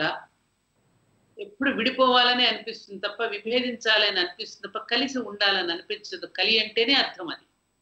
అంటే ఇప్పుడు కలియుగం అంటారు కదమ్మా దానికి అర్థం అదేనమ్మా? దానికంటే అర్థం అది. కలి వచ్చే అన్ని అవలక్షణాలే కలిలో ఉండేవన్నీ. అవలక్షణాలతోనే ఈ భూమి మీదకి చేరాడు కృష్ణుడు అలా వెళ్ళిపోగానే. ఆ అవలక్షణాలన్నీ కూడా మనకు అబ్బుతాయి కదా. అవునమ్మా. ఎందుకు? ఎప్పుడు ఎప్పుడు అబ్బుతాయి? కలిపురుషుడిని ఎక్కడ ఉండమన్నాడో అక్కడ నుంచి కనుక దాటి వస్తే మనకు ఇప్పుడు కలిపురుషుడిని ఎక్కడ ఉండమన్నాడు అంటే పరీక్షిత్ మహారాజు. ప్రాణివధ ఎక్కడ ఉంటుందో అక్కడ ఉండమన్నాడు. ప్రాణివధ ఎప్పుడు జరుగుతుంది? ధర్మాన్ని రక్షించవలసి వచ్చినప్పుడు తనను తాను రక్షించుకోవలసి వచ్చినప్పుడు మాత్రమే జరుగుతుంది. అది కాకుండా ఇంకెక్కడైనా జరుగుతోంది అనుకోమ్మా అక్కడ కలిపురుషుడు యొక్క ఆయువు పట్టు హత్యలు దోపిడీలు జరుగుతున్నాయంటే కలిపురుషుడు అక్కడ ఉన్నట్టు లెక్క. అందుకని ఏం చేశాడు? నిన్నే ఉపయోగించుకుంటాను మళ్ళీ రాబోయేటటువంటి కృతయుగానికి ఇలా ఉంటే ఇలా జైలు పాలవుతారు ఇలా చెడిపోతారని చెప్పడానికి నిన్నే ఎగ్జాంపుల్గా తీసుకుంటాను నెక్స్ట్ యుగానికి అని. మళ్ళీ ఉండమన్నాడు? ఎక్కడ తాగుడు ఉంటుందో ఏంటి మద్యం ఎక్కడ ఉంటుందో నువ్వు అక్కడ ఉండు. మద్యం తాగిన వాడికి ఏమనిపిస్తుంది? భార్య పిల్లలు గుర్తురారు. తన కోసం ఎదురు చూస్తుంది భార్య అనే విషయం స్పృహలో ఉండదు. తూలుతూ ఉంటాడు అందరినీ తిడుతూ ఉంటాడు. ఎక్కడ పడితే రోడ్డు మీద అక్కడ పడిపోతూ ఉంటాడు. కోల్పోయి సంసారాన్ని నాశనం చేసుకుంటాడు. ఇదిగో మళ్ళీ అక్కడ నీ ఆయువు అక్కడ నువ్వు ఉండమన్నాడు మద్యం దగ్గర. ఎవరైతే ఈ మద్యం తాగి కుటుంబాలను పాడు చేసుకుంటున్నారో వాళ్ళని మళ్ళీ నిన్నే ఎగ్జాంపుల్గా చూపించి పాడు చేసుకున్న వాళ్ళకి నిన్నే ఎగ్జాంపుల్గా చూపించి మళ్ళీ బాగు చేస్తాను. మూడోది ఎక్కడ ఉంచమన్నాడు జోదం ఎక్కడ ఆడతారో నువ్వు అక్కడ ఉండు. ఇప్పుడు ఈ మధ్య చూడండి ప్రతిదానికి బెట్లు గైట్ మొదలెట్టారు. ఆ బెట్లు గైట్ వల్ల ఆ ఎంత దీంట్లో ఆఖరికి భార్య మంగళసూత్రం కూడా తెచ్చి తాకట్టు పెట్టాడు ఆ బెట్టెలు చేస్తున్నారు అవునమ్మా. చూడలేదు మనం. ఆస్తులు కూడా పణంగా పెడుతున్నారు. ఎలక్షన్స్ వచ్చినప్పుడు కోడి పందాలు వచ్చినప్పుడు అవి వచ్చినప్పుడు ఇవి వచ్చినప్పుడు జోదంలో డబ్బులు పెట్టేసుకుని పాడు చేసేసుకుంటున్నారు. ఆస్తులన్నీ కూడా హారతి కర్పూరం అంటారు. ఆ విధంగా హారతి కర్పూరం చేసుకుంటున్నారు అలా అక్కడ నువ్వు అట్లాంటి వాళ్ళు పాడైపోయిన వాళ్ళకి కూడా నిన్నే మళ్ళీ ఎగ్జాంపుల్గా చూపించి మళ్ళీ వాళ్ళని బాగు చేస్తాను. నాలుగవది వ్యభిచారము. ఇందాక అనుకున్నట్టుగా భారతదేశంలో ధర్మం అనేది ఒక యజ్ఞం పవిత్రమైన క్రతువు. అదే మైల పడుతోంది అంటే అక్కడ నువ్వు ఉన్నట్టు లెక్క. కాబట్టి అటువంటిది ఎక్కడైనా మైల పడుతోంది అంటే ఎయిడ్స్ వ్యాధులు లాంటివి కనుక వచ్చినాయి అంటే మళ్ళీ తిరిగి బాగు చేయాలంటే ఆ ఏకపత్ని వ్రతం అనేది ఏదైతే మన పూర్వీకులు చెప్పారో దాన్ని ఆచరింప చేయాలి అంటే అదిగో మళ్ళీ నిన్నే ఉపయోగించుకుంటాను. చూడండి. హగ్గులు మానేశారు. ఇప్పుడు కరోనా వచ్చిన తర్వాత ఇప్పుడు ఎవరి దగ్గర అవ్వడానికి భయపడిపోతున్నారు. ఎవరి దగ్గరికి వెళ్ళకుండా ఇప్పుడు అవన్నీ కూడా కంట్రోల్ అయిపోయినాయి ఆటోమేటిక్గా ఈ కరోనా పుణ్యం అంటూ తాగు లేదు. క్లబ్ కల్చర్ లేదు. పప్పు కల్చర్ లేదు అన్ని దూరం అయిపోయినాయి. అన్ని దూరం అయిపోయాయి అవునమ్మా. ఈ నాలుగు చోట్ల ఉండమన్నాడమ్మా. ఐదోది బంగారం. బంగారం ఎక్కడ ఉంటే ఉండమన్నాడు. అందుకని బంగారం తనదో తన కిరీటంలో కూడా వచ్చేసాడు కలిపురుషుడు. వెంటనే వెళ్ళి ముని మెడలో పామును వేసేసాడు ఆయన శాపానికి గురయ్యాడు. చివరికి గురైపోయి చావు నుంచి తప్పించుకోవడానికి ఇప్పుడు మనం కూడా కరోనా కూడా మనకు పరీక్ష ఇదే పెడుతుంది. ఆ చావు నుంచి తప్పించుకోవడానికి ఇప్పుడు మనం ఎట్టయితే లాక్ డౌన్ అయిపోయామో ఆ పరీక్ష. మహారాజు కూడా లాక్ డౌన్ అయిపోయి ఎన్నో అంతస్తులు కట్టుకుని పై ఎక్కడో అంతస్తులు కూర్చున్నాడు. అదేం చివరికి ఒక యాపిల్ పండులో ఒక పురుగు రూపంలో వచ్చి చంపేసింది పరీక్షిత్తుని చూసారా? ఆ కావాలని జరిగాయి. కాబట్టి కలి అనేటువంటి వాడు ఈ భార్య భర్తలు తల్లిదండ్రుల మధ్య ఉండే అనుబంధాలను కూడా జరగ తల్లిదండ్రులు తీసుకెళ్ళి వృద్ధాశ్రమాల్లో పెడుతున్నాం. అవునమ్మా. విడిపోతున్నారు విడాకుల సంఖ్య పెరిగిపోతుంది రాష్ట్రాలు విడిపోతున్నాయి దేశాలు. ఉంటున్నాయి ఇవన్నీ ఏమిటంటే కలిస్తాను కలిస్తాను అంటాడు. కలుస్తాను కలుస్తాను అనడం. అది కలి లక్షణం అది. కాబట్టి ఈ కలి పురుషుడు ఈ భార్యాభర్తల మధ్యన కూడా ఈ రకమైనటువంటి విభేదాలను సృష్టిస్తున్నాడు. కాబట్టి కలిని దమించాలి అంటే మన ఉమ్. దగ్గరికి వాడు రానియకుండా మన జోలికి రానియకుండా ఉండాలి అంటే ఏం చేయాలి ఏం చేయాలి మళ్ళీ మన మార్గం ఏదైతే ఉందో దైవ మార్గం భాగవత మార్గం ధర్మ. మార్గం రామాయణ మార్గం ఇవేందైతే మనకు సృష్టి భగవంతుడు మనకి ఇచ్చి వెళ్ళాడో సృష్టికర్త ఆ వ్యాస భగవానుడు ఈ రూపంలో వచ్చి ఇచ్చాడో దానిని మళ్ళీ ఆచరిస్తే ఇవన్నీ తగ్గుతాయి. ఎప్పుడైతే మన భాగవత పురాణ ఇతిహాసాలను వద్దనుకుని ఈ ఇంగ్లీషు విద్యా విధానంలో పడిపోయి మన పాశ్చాత్య కల్చర్ని ఎప్పుడైతే మనం పెంపొందించుకున్నామో ఆఖరికి ఏమిటమ్మా చివరికి ఈ మధ్యన మీకు తెలిసే ఉంటుంది. అదేదో గేమ్ ఆట అంటారు డబ్బాలో తాళాలు వేసేసి అందరూ కలిసి. ఆ- డబ్బాలో తాళాలు ఎవరు తీస్తే ఆ కారు కలిగినటువంటి భార్య ఇంకొక అతడితో వెళ్ళిపోవడం అనే గేమ్ని కూడా పెట్టుకుని మన భారతదేశంలో ఆడుతున్నారంటే కలి యొక్క ప్రభావం ఎంత బలీయంగా ఉందో ఆలోచించండి. Okay okay. అవునమ్మా నిజమే. కదా ఇవన్నీ? ఇవన్నీ మరి పరాకాష్ట. కాబట్టి ఇవన్నీ ఏమిటంటే పోగొట్టుకోవాలని ఒకరినొకరు అర్థం చేసుకోవాలి. ఒకరికి ఒకరిగా మన పూర్వీకులు ఏం చెప్పారమ్మా? ఒకరికి ఒకరి ఎవరికి వారుగా కాక ఒకరికి ఒకరుగా బ్రతకండిరా అని చెప్పారు. ఉంటున్నామా? పోగొట్టుకున్నాం. పోటీ పడే స్థితి నుండి పోటీ. స్థితి నుండి ఒకరికి ఒకరు సహకరించుకునే స్థితికి మీరు ఎదగండిరా అన్నారు. చెప్పారు? హక్కుల కోసం పోరాడే స్థితి నుండి బాధ్యతలు గుర్తించి వర్తించండిరా అన్నారు. పోగొట్టుకున్నామా? ఎప్పుడు హక్కులు? హక్కు ఆడవాళ్ళకి హక్కులు అంటారు ఆడవాళ్ళకి హక్కులు? నా తలకాయ. పురుషులు ఆడవాళ్ళకి హక్కులు. ఒకరికి సమానత్వం అంటున్నారు కదమ్మా ఇప్పుడు పురుషులతో సమానంగా ఉండాలి స్త్రీలు కూడా ఇద్దరు సమానత్వం కోసం పోటీ పడుతూ ఉన్నారు ఇప్పుడు. ఎక్కువ స్థాయిలో ఉంది స్త్రీ. అధిక స్థాయిలో ఆవిడే ఉన్నది ఔన్నత్యం ఆవిడదే. ఆవిడే ఇంటికి యజమానురాలు ఆవిడే. మీకు గుర్తుందా? చిన్నప్పుడు నేను కూడా తమాషాగా మా నాన్నగారు అదే అని పిలి ఏంటి ఇలా పిలుస్తారు ఏంటి అనుకునేదాన్ని. తర్వాత తెలిసింది వసే అంటే ఓ యజమానురాలా అని అర్థం. ఓ నిజంగానమ్మా వస్తాయి అంటే మామూలు మనం ఏదో తిడుతున్నారు అనుకుంటాం కదా. తప్పు. వసే అంటే ఓ యజమానురాల. అందుకనే భార్యాభర్తలు పిలుచుకునేటప్పుడు కూడా ఆర్యపుత్రి ఆర్యపుత్ర హే ఆర్యన్ అని పిలుచుకునేవారు వాళ్ళు. ఎంత గౌరవం భార్య పట్ల భర్తకి భర్త పట్ల భార్యకి అలా గౌరవంగా ఒకరినొకరు పిలుచుకునేవారు. అది పోయింది. ఇప్పుడు పేర్లు పెట్టి పిలుస్తున్నారు. పోలు పిలుచుకున్నారు. యారా వరే అనే ఫ్యాషన్ దాకా వచ్చేసింది. ఏరా ఒరే అని కూడా అంటారు కూడా వచ్చేసింది భార్యాభర్తలకి. అవునమ్మా. ఇవన్నీ కూడా ఈ అవలక్షణాలన్నీ కూడా ఉంటాయి. కాబట్టి ఇది పోగొట్టుకోవాలి అంటే మళ్ళీ ఆ మార్గాన్ని అనుసరించి తప్పదు. ఒకరి అర్థం చేసుకోవాలి. ఆవిడ నుండి నీకు కావాల్సింది ఏమిటి? పోషణ.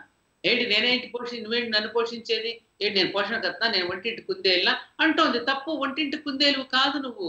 నువ్వు అందరికంటే యజమానురాలివి. మొత్తం మొత్తం ఇంటి పెత్తనం అంతా నీదే. నువ్వు చెప్పినట్టే పురుషుడు వింటున్నాడు. నీ నీ దగ్గర చెప్తున్నాడు నువ్వే తలదూకోవటం వాడికి నేర్పావు. నువ్వే నువ్వే స్నానం చేయటం నేర్పావు. అన్నం ఎలా కలుపుకోవాలో నువ్వే నేర్పావు. బట్టలు ఏ వేసుకోవాలో నువ్వే నేర్పించావు. గుణగుణాదులను నీ బడిలో నుంచే కదా నేర్చుకున్నాడు. నువ్వే కదా అన్నింటికన్నా గొప్పదానివి. కదా ఇచ్చేది పిల్లవాడికి. నిజమే అమ్మా. అక్కడికి తొలి అమ్మ ఒడే కదా మొదటి బడి అమ్మే కదా దైవాన్ని పరిచయం చేసింది. అమ్మే కదా నాన్నను పరిచయం చేసింది. అమ్మే కదా సమాజాన్ని పరిచయం చేసింది. అవునమ్మా. ఇప్పుడు అంత పురుషుడి కంటే గొప్పదనే విషయం ప్రతి దాంట్లో తెలుస్తోందిగా. భారత మాత ప్రకృతి మాత గోమాత గంగామాత భార్యాభర్తలు పార్వతీ పరమేశ్వర్లు సీతారాములను ఫస్ట్ ఎవరికేశారు శ్రీమతి అండ్ శ్రీ అంటున్నాం మీ దేశాల్లో మిస్టర్ అండ్ మిసెస్ అంటారు. ఇక్కడ అండ్ శ్రీ అంటారు ఇక్కడ. అవునమ్మా ఎంత తేడా ఉంది? కాబట్టి ఈ ఆధిక్యత అనేది నీకే ఉన్నదమ్మా. దానిని సమన్వయించుకోగలిగిన శక్తి యుక్తి రక్తి అన్ని నీలోనే ఉన్నాయి. పురుషుడు అమాయకుడు వాడికి ఏం తెలియదు నువ్వు నేర్పిస్తేనే నువ్వు పెంచితేనే. నువ్వు నేర్పిస్తేనే నిలబడతాడు అతడు. నువ్వు పుట్టుకతోనే మెచ్యూరిటీతో పుట్టావు కదా నువ్వు.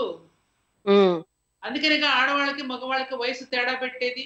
అప్పటికే ఆవిడ మెచ్యూర్ అయిపోయింది కాబట్టి నాలుగు సంవత్సరాలు చిన్న అమ్మాయిని పెళ్ళి చేస్తారు. ఎందుకని? అప్పటికి మెచ్యూరిటీ లెవెల్స్ ఇద్దరికి సమానంగా ఉంటాయి అని చెప్పి. ఓ దీని వెనక ఇదే ఇదన్నమాట రహస్యం. మెచ్యూరిటీ లెవెల్స్ అప్పటికి ఎదిగిపోయింది ఇప్పుడు మానసికంగా. అవునవునమ్మా. మానసికంగా ఎదగపోతే అమ్మా రా పద్మానంద పద్మగద తల్లి నీ పేరు పద్మ. అవునమ్మా. మా నాన్నలు నిర్ణయించిన వివాహానికి తల వంచి ఏమ్మా మన భారత స్త్రీ. గాంధర్ వివాహాలు అవి పక్కన పెట్టండి తక్కువ. నిర్ణయిస్తే అప్పటి వరకు స్వభావం కూడా తెలియనటువంటి స్త్రీ చేసుకున్న భర్త స్వభావం తెలియదు ఆ ఇంట్లోకి వెళ్తున్న అత్తగారి స్వభావం తెలియదు మామగారి స్వభావం తెలియదు ఆడపడుచుల స్వభావాలు తెలియవు ఆ కుటుంబ సభ్యులు మిగతా వాళ్ళ స్వభావాలు తెలియకుండానే ధైర్యంగా చిటికిన వేలు పెట్టుకుని కుడిపాదం మోపి మెట్టినింటికి వెళ్ళినప్పుడే ఆవిడ ధైర్యం ఏమిటో తెలిసిపోయింది జాతికి. అవునమ్మా. స్వభావాలని కలుపుకుంటూ ఎవరికి ఏది ఇష్టమో చేసి పెడుతూ ఎవరిని ఎలా మేనేజ్ చేయాలో తెలుసుకుంటూ ఎప్పుడు ఏ మనిషిని తను వశపరుచుకోవాలో ఏ మనిషికి నచ్చబెట్టి చెప్పాలో తెలుసుకునేటటువంటి ఆ ఓర్పు నేర్పు భారతీయ మహిళకు అధికంగా ఉందమ్మా. అందుకనే ప్రపంచ దేశాలు హ్యాట్స్ ఆఫ్ ఇండియన్ ఉమెన్ అని చెప్పి మనకు జోహార్లు జోతలు సమర్పించారమ్మా. వివాహం తర్వాత ఇంటికి వెళ్ళినప్పుడు భర్త ఇంటికి వెళ్ళినప్పుడు అత్తగారి ఇంటికి ఒక్కతే వెళ్తుంది కదమ్మా. చూడు. అయిపోతుందిగా అవునమ్మా. ధైర్యం ఉండాలి అలా వెళ్ళాలంటే ఎవరో తెలియదు ఎలాంటి వారో తెలియదు ఎంత ధైర్యం ఉండాలి చెప్పండి. అవునమ్మా అది- ఒక్కటి చాలు.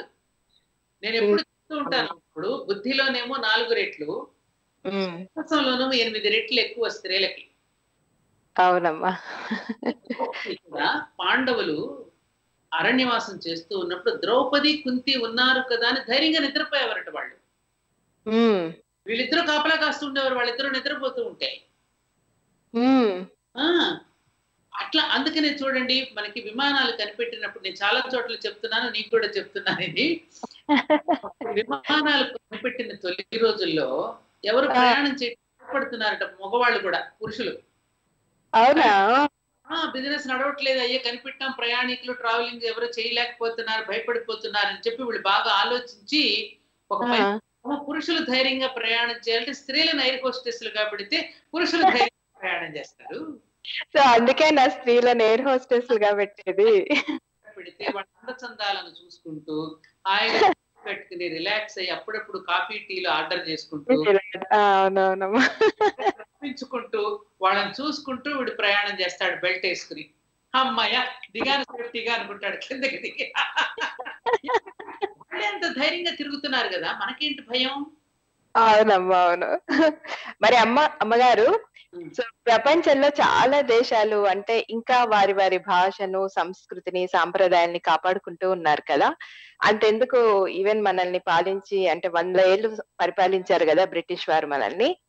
So be British buy British అంటారు కదా. కానీ మనం ఎందుకు మన సంస్కృతిని వదిలేసి పాశ్చాత్య సంస్కృతి వ్యామోహంలో పడిపోతున్నాం? అంటే భావితరాలకు వాటిని అందించలేకపోతున్నాం. ఎందుకు పాశ్చాత్యుల కట్టుబొట్టు దగ్గర నుండి ఆహారపు అలవాట్ల వరకు అన్ని అనుసరిస్తూ అనుకరిస్తున్నాం? అంటే మనం మనంగా ఎందుకు బ్రతకలేకపోతున్నాం? దీనికి కారణం ఏంటమ్మా? ఏంటంటే అసలు ఏంటంటే మన భారతీయులది సొంత నుంచి మన రక్తంలో వసుధైవ కుటుంబకం అనే భావనతో బ్రతుకుతూ వస్తున్నాం. పాశ్చాత్యుడా వీడు ఈ దేశస్తుడా ఆ దేశస్తుడా అనే భేదాలతో ఎప్పుడు మనం చూసినటువంటి ఇది కాదు మనది. దానివల్ల ఏమిటంటే మనకంటూ ఒక పరిమితులు ఎప్పుడు ఏర్పరచుకోవాలా? మన ఇతర దేశాల మీద దండెత్తాలని ఆయుధాలను కూడా మనం సప్లై చేసుకోవాలి? తయారు చేసుకునే దృష్టి లేదు మనకి. ఆర్థికంగా చరిత్రే లేదమ్మా మనం ఒక దేశం మీద దండెత్తిన చరిత్రే లేదు మనకు.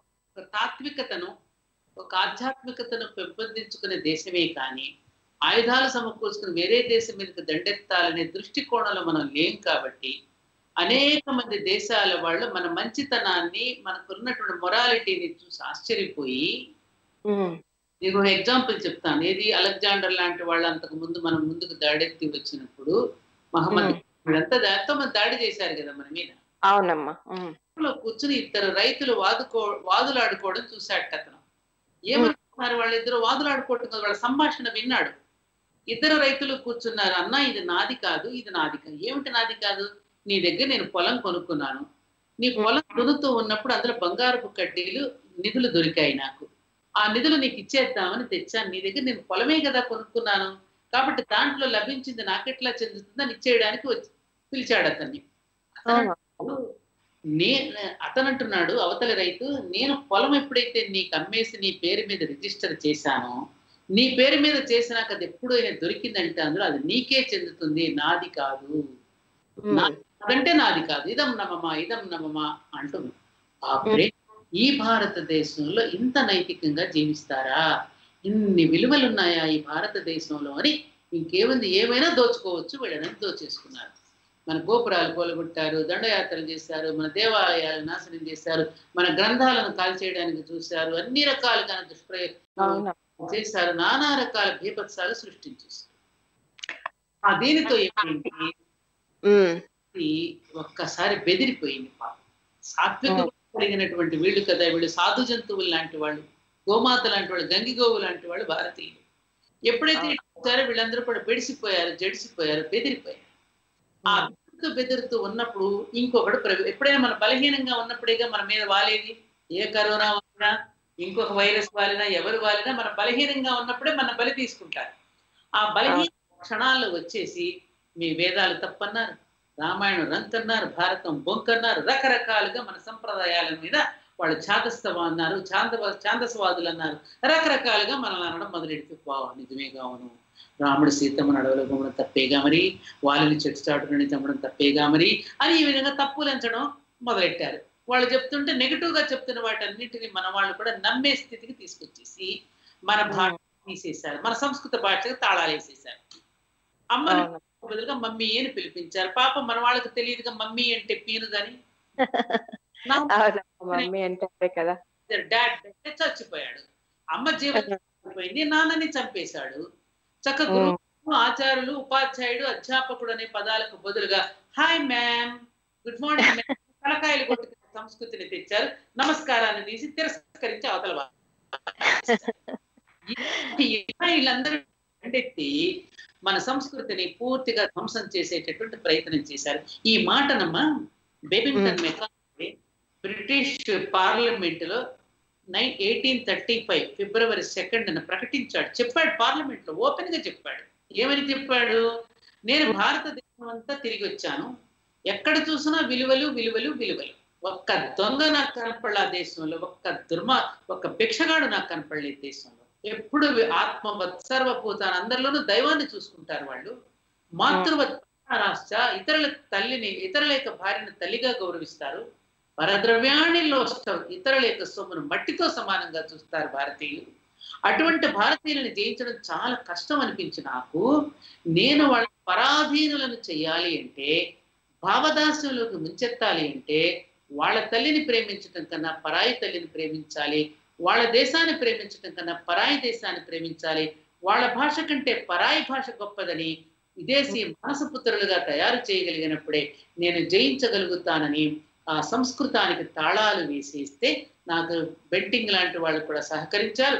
ఆ విధంగా నేను భారతీయులు కూడా కొంతమంది సహకరించారు. జయచంద్రులు ఎప్పుడు ఉంటారు కదా. సహకరించి ఆ సహకారం మేరకు నేను జయించానని చెప్పాడు. అది తెలిసి కూడా సవరించుకోలేకపోతున్నాం ఆ, కూడా సరిపోలేకపోతున్నామా కాబట్టి ఇవన్నింటికి కారణాలు ఏమిటంటే ఇదిగో కరుణు కర్ణుడు చావుకు అనేక కారణాలన్నట్టుగా మన భారతదేశం ఇప్పుడు అనుకున్నటువంటి అవలక్షణాలన్నీ కూడా పొందడానికి కలి యొక్క ప్రభావం కొంత విదేశీయుల యొక్క ప్రభావం.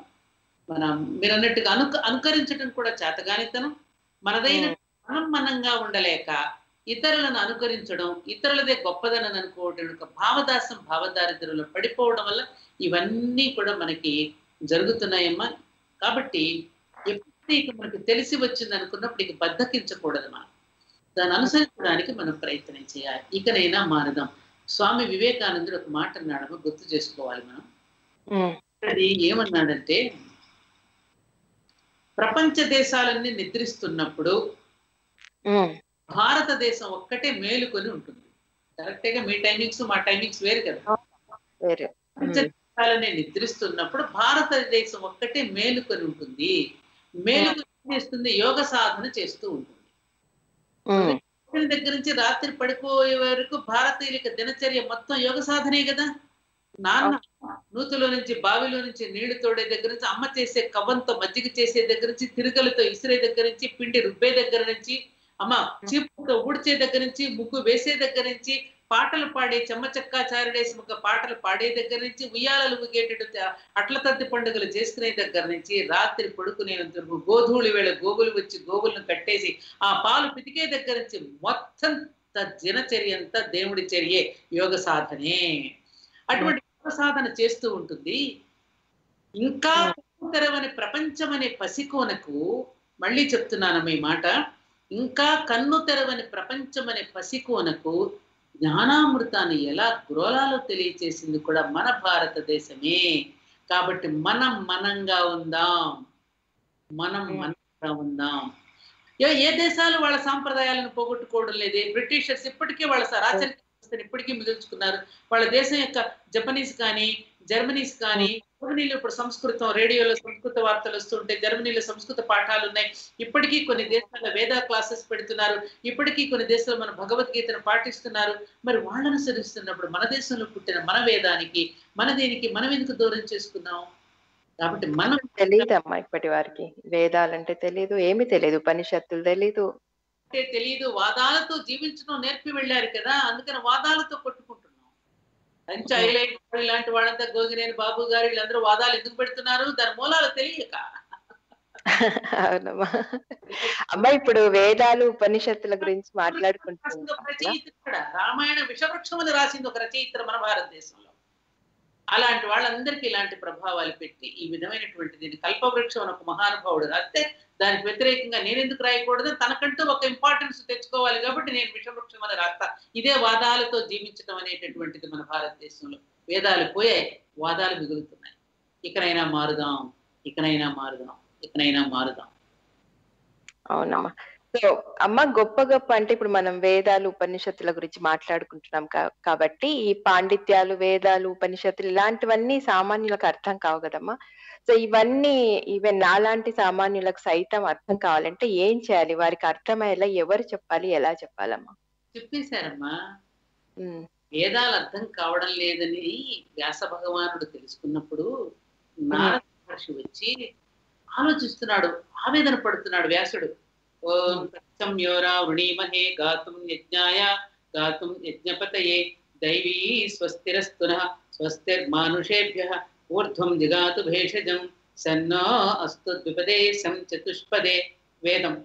పురుష సూక్తం చదువుతున్నాడు అర్థం కావట్లేదు ఎవరికి? ఏంటి దీని అర్థం? అర్థం కాదు. అరే వీళ్ళకి అర్థమయ్యేటట్టు చెప్పడం ఎలాగా అని మళ్ళీ ఆయన ఆలోచనలో పడి ఆవేదన చెందుతూ నిస్పృహకు లోనైనప్పుడు నారద వచ్చి చెప్తాడు ఇలా కాదయ్యా నువ్వు చెప్పవలసింది భాగవత మార్గంలో పురాణ పురుషుల యొక్క గాథలను వాళ్ళకి వివరించినప్పుడే వేదార్థాన్ని గాథల రూపంలో ప్రాక్టికల్గా నువ్వు చేసి చూపించినప్పుడు మాత్రమే అర్థం చేసుకోగలుగుతారని చెబితే వేదంలో ఉన్న సత్యం వద అనే దానికి రామాయణాన్ని తీసుకొచ్చారు. ఎవరు తీసుకొచ్చారు? తీసుకురాలా? ఆయనే ఈ ఈ చేస్తున్న తపస్సుకు మెచ్చుకుని నేనే దిగి వస్తున్నాను మీకు. శ్రీమన్నారాయణ దిగి వచ్చి తల్లిదండ్రుల్లో కొడుకున ఎలా ఉండాలో నేర్పిస్తా. అన్నదమ్ముల్లో అన్నగా ఉండి అన్నదమ్ముల పవిత్ర బృందం ఎలా ఉండాలో మీకు నిరూపిస్తా. అలాగే గురువు దగ్గర శిష్యుడిగా చేరి గురు శిష్యుల యొక్క బాంధం ఎంత గాఢంగా ఉండాలో చూపిస్తా.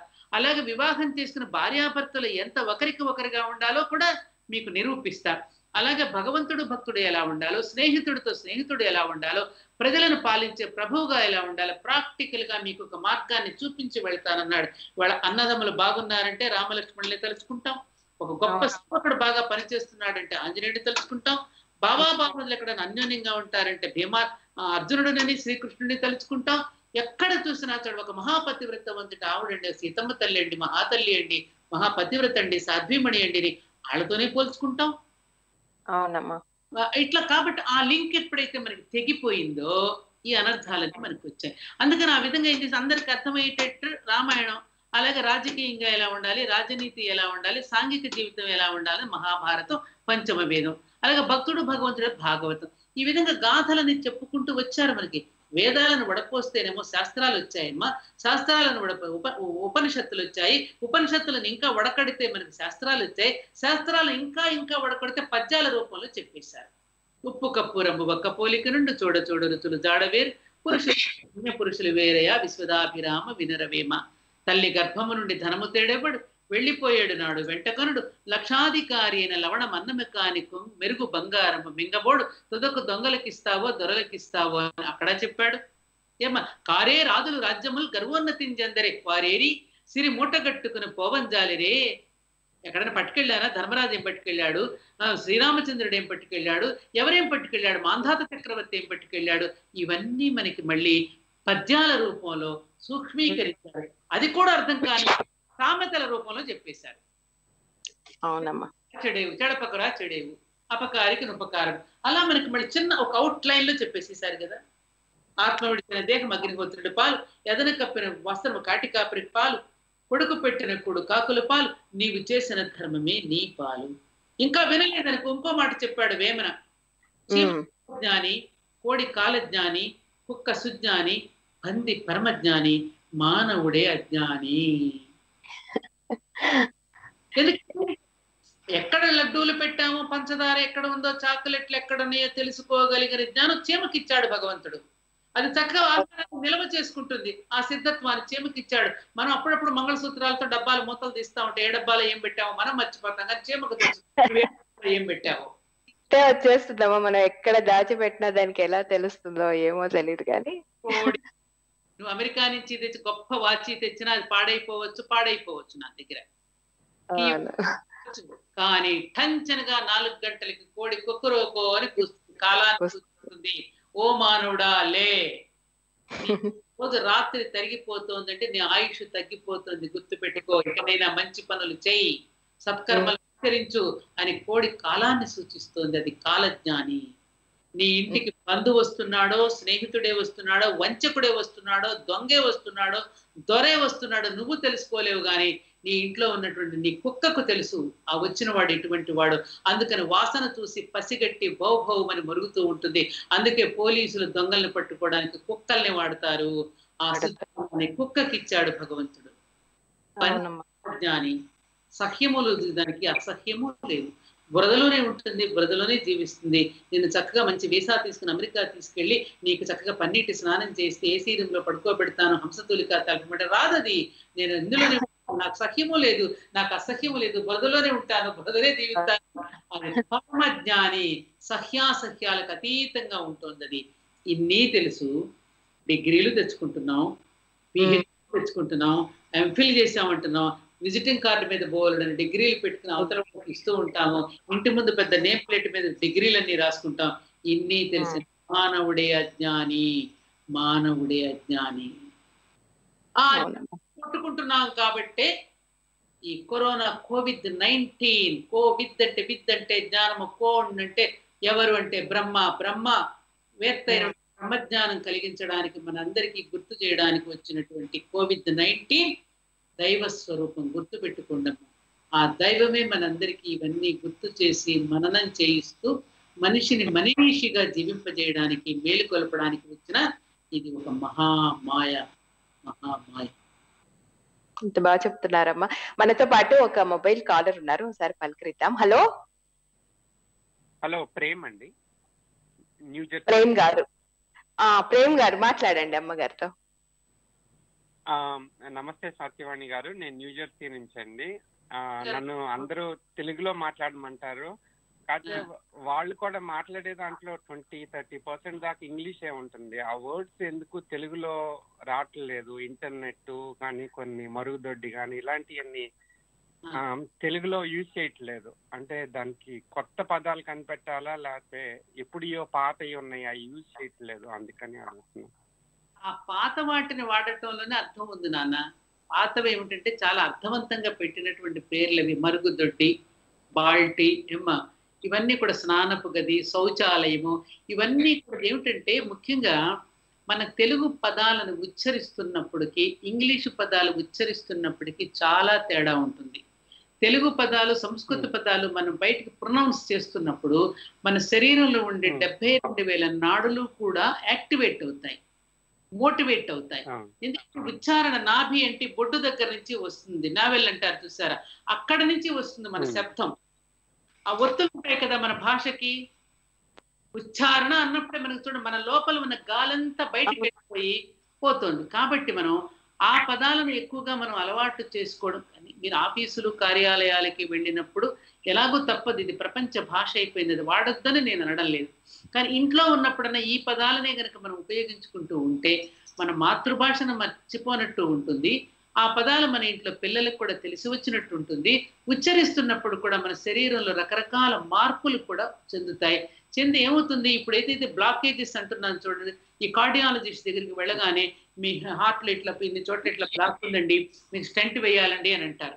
ఎప్పుడైతే నువ్వు బయటికి. విచారణ వస్తున్నప్పుడు ఆ స్టంట్ వేయక్కర్లేకుండానే ఆ బ్లాక్స్ అన్ని కూడా వాటంతట అవి కూడా ఊదబడి మన స్ట్రాలో గనక ఎట్లయితే మన ఇట్లా ఊతే గనక అది ఎట్లయితే క్లియర్గా వాటర్ ఫ్లో అవడానికి అవకాశం ఉంటుందో ఆ విధంగా రక్త ప్రసరణ కూడా సాఫీగా జరిగిపోవడానికి మన తెలుగు భాష సంస్కృత భాషలో అన్నీ కూడా దానిలో నిక్షిప్తం చేసి పొందుపరిచి మనకు అందించారు కాబట్టి మన ఆ పదాలను మనం వాడుకోవడం ఉత్తమమైనటువంటి పని.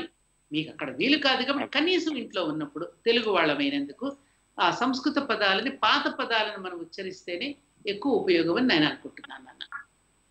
ఇప్పుడు కొత్త అలాంటివి కూడా తెలుగులో చెప్పమంటే చెప్పలేకపోతున్నారు. బాగా తెలుగు ఉంటే ప్రేమ ఉన్నాళ్ళు కూడా చెప్పలేకపోతున్నారు. ఇంటర్నెట్ అని తెలుగులో చెప్పండి. అంటే. కూడా చెప్పలేకపోయేసరికి మనది వర్డ్స్ ఎక్కువ ఇంగ్లీష్లో యూజ్ చేయడం స్టార్ట్ చేస్తారు. ఇష్టం ఉన్న వాళ్ళు కూడా. అందుకని ఏమన్నా మన యూనివర్సిటీ తెలుగు యూనివర్సిటీ అన్నా ఇలాంటి అన్నా కొత్త కొన్ని వచ్చాయండి ప్రేమ్ గారు. మనకు ఇంటర్నెట్ అంటే అంతర్జాలం అంటారు. సో ఇలాంటివి వచ్చాయి చాలా వచ్చాయి. మీరు ఒకసారి చూస్తే తెలుస్తుంది. కానీ అన్నిటికైతే రాలేదు. అంటే నిఘంటు వస్తే మంచిది కదా. అంటే అన్ని అలాంటి వాళ్ళు రాయాలన్నమాట. సో అమ్మగారు లాంటి వాళ్ళే. రాయాలి అలాంటివన్నీ. తెలుగు కదా. డుమువులు ప్రథమా విభక్తి ఆహా. ఫ్యాన్ ఇంగ్లీష్లో ఫ్యాన్ అంటాం.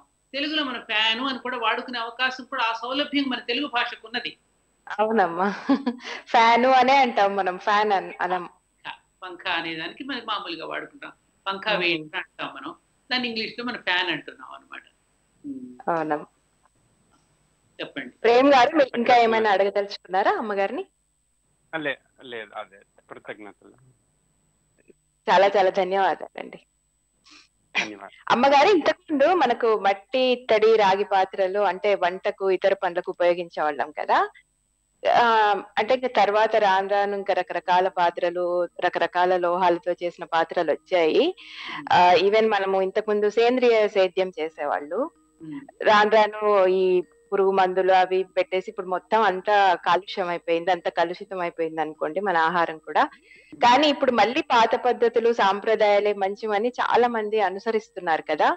ఈ క్రమంలో మన దేశం తిరిగి పూర్వ వైభవాన్ని పొందుతుందన్న నమ్మకం మీకుందా అమ్మగారు? Thousand percent. పర్సెంట్ నమ్మకం ఉంది. ఎందుకంటే ఎలాగంటారు? ఇది ఒక సైకిల్ అమ్మా.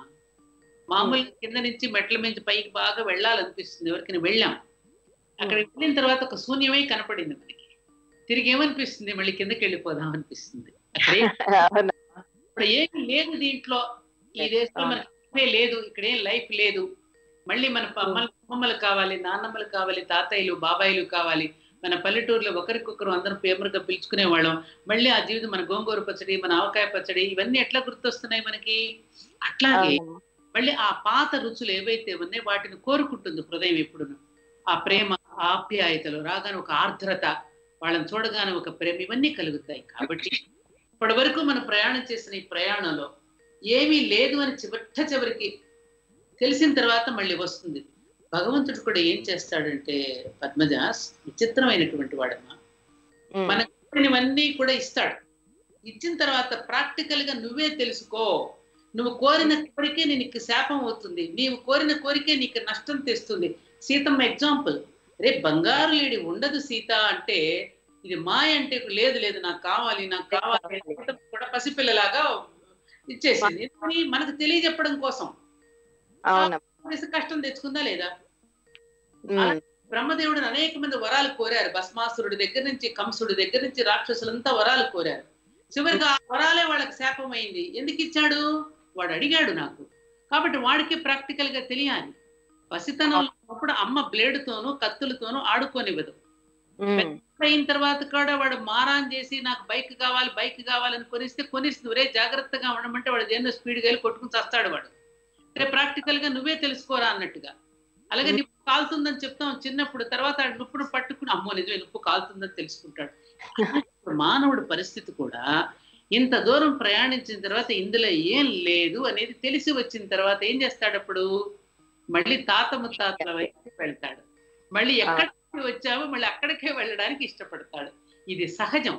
కాబట్టి సహజమైనటువంటి దీనిలోనే ఇప్పుడు జరుగుతున్న ఈ కథ కూడా ప్రాక్టికల్ తెలిసి వచ్చేంత వరకు భగవంతుడు వేచి ఉండి ఆఖరికి మన ఇటువైపుకు మళ్ళించడానికి ఇదిగో ఇలాంటి సన్నివేశాలన్నీ మనకి కల్పిస్తూ ఉంటాడు అనమాట తప్పనిసరిగా మళ్ళీ థౌజండ్ పర్సెంట్ పూర్వ వైభవాన్ని సంతరించుకుంటుంది. ఈ సంతరించుకోవడానికే ఈ సమతుల్యాన్ని పాటించడానికి కొంతమంది ప్రాణాలు పోతాయి. తాలు విత్తనాలన్నీ కూడా కలిసిపోతాయి. జల్లెడ పడుతోంది ప్రకృతి మనల్ని.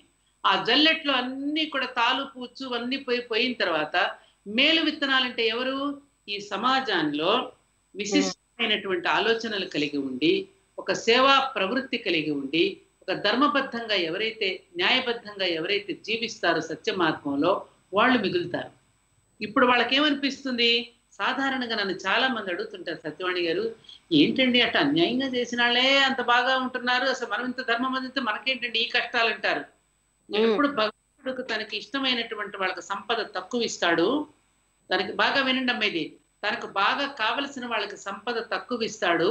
ఎట్లా అయితే థర్మామీటర్ పెట్టి జ్వరం చూసినప్పుడు నైన్టీ ఎయిట్ పాయింట్ సంథింగ్ ఉంటేనే మనకి జ్వరం లేనట్టు. అందుకని వీడికి జ్వరం వచ్చిందిరా అంటాం. సంపద కూడా అంతే. ఆ నాలుగు ఎవరైతే ఉంటారో వాళ్ళు భగవంతుడికి ఇష్టం. ఆ తెలియక మనకేదో సంపదలు ఇవ్వటం లేదనుకుంటాం మనం కాదు. మనం ఆ స్థాయిలో ఉండడం భగవంతుడికి ఇష్టం కాబట్టి అటువంటి వాళ్ళని దగ్గరకు చేర్చుకుని వాళ్ళ మీద తిరిగి మళ్ళీ సత్యయుగం ప్రారంభం చేస్తాడు ఈ సంపద అంతా ఇచ్చే వాళ్ళందరికీ ఎందుకు ఇస్తున్నాడు? నీ పాపం పెరిగిపోవుగాక.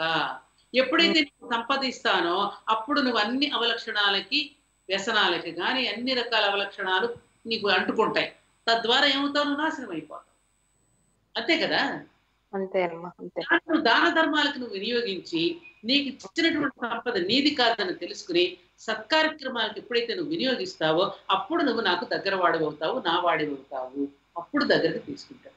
ఈ సత్యం ఇప్పుడున్న పరిస్థితిలో ఎంతమంది మనం అవలంబి ఎంతమంది మనం వంట పట్టించుకుంటే అంత మంచిదమ్మా. మంచిది అవును. అమ్మగారు మీరు చిన్నప్పుడు అంటే ఎలా ఉండేవారు? అంటే అల్లరి చేసేవారా? మీ చిన్నప్పుడు మీకు బాగా గుర్తుండిపోయిన కొన్ని విషయాలు మాతో పంచుకోండి అమ్మా. చాలా అలర్గాని నేను. ఊళ్ళో ఏమి అల్లరి చేసేవాళ్ళు మీరు? మా ఊర్లో అందరి పిల్ల అంటే సత్యవాణి అనే పేరు. మీకు అసలు నేను పెళ్ళికి కుదురుగా కూర్చుంటానా లేదా అని చూడడానికి వచ్చారు చాలా మంది అయ్యో పెళ్ళి దగ్గరైనా కుదురుగా కూర్చుంటుందా? కానీ సర్టిఫికెట్ ఏంటి? అందరికన్నా బాగా నేనే వినయంగా ఉన్నానని సర్టిఫికెట్ ఇచ్చాడు చివరికి. అలా టీచర్స్ని ఏడిపించేదాన్ని ముఖ్యంగా మా తెలుగు మాస్టర్ని బాగా ఆట పట్టించేదాన్ని. ఆయన పేరు నరసింహాచార్యులు అయితే నేను నరహింసాచార్యులు గారు అని పిలిచేదాన్ని.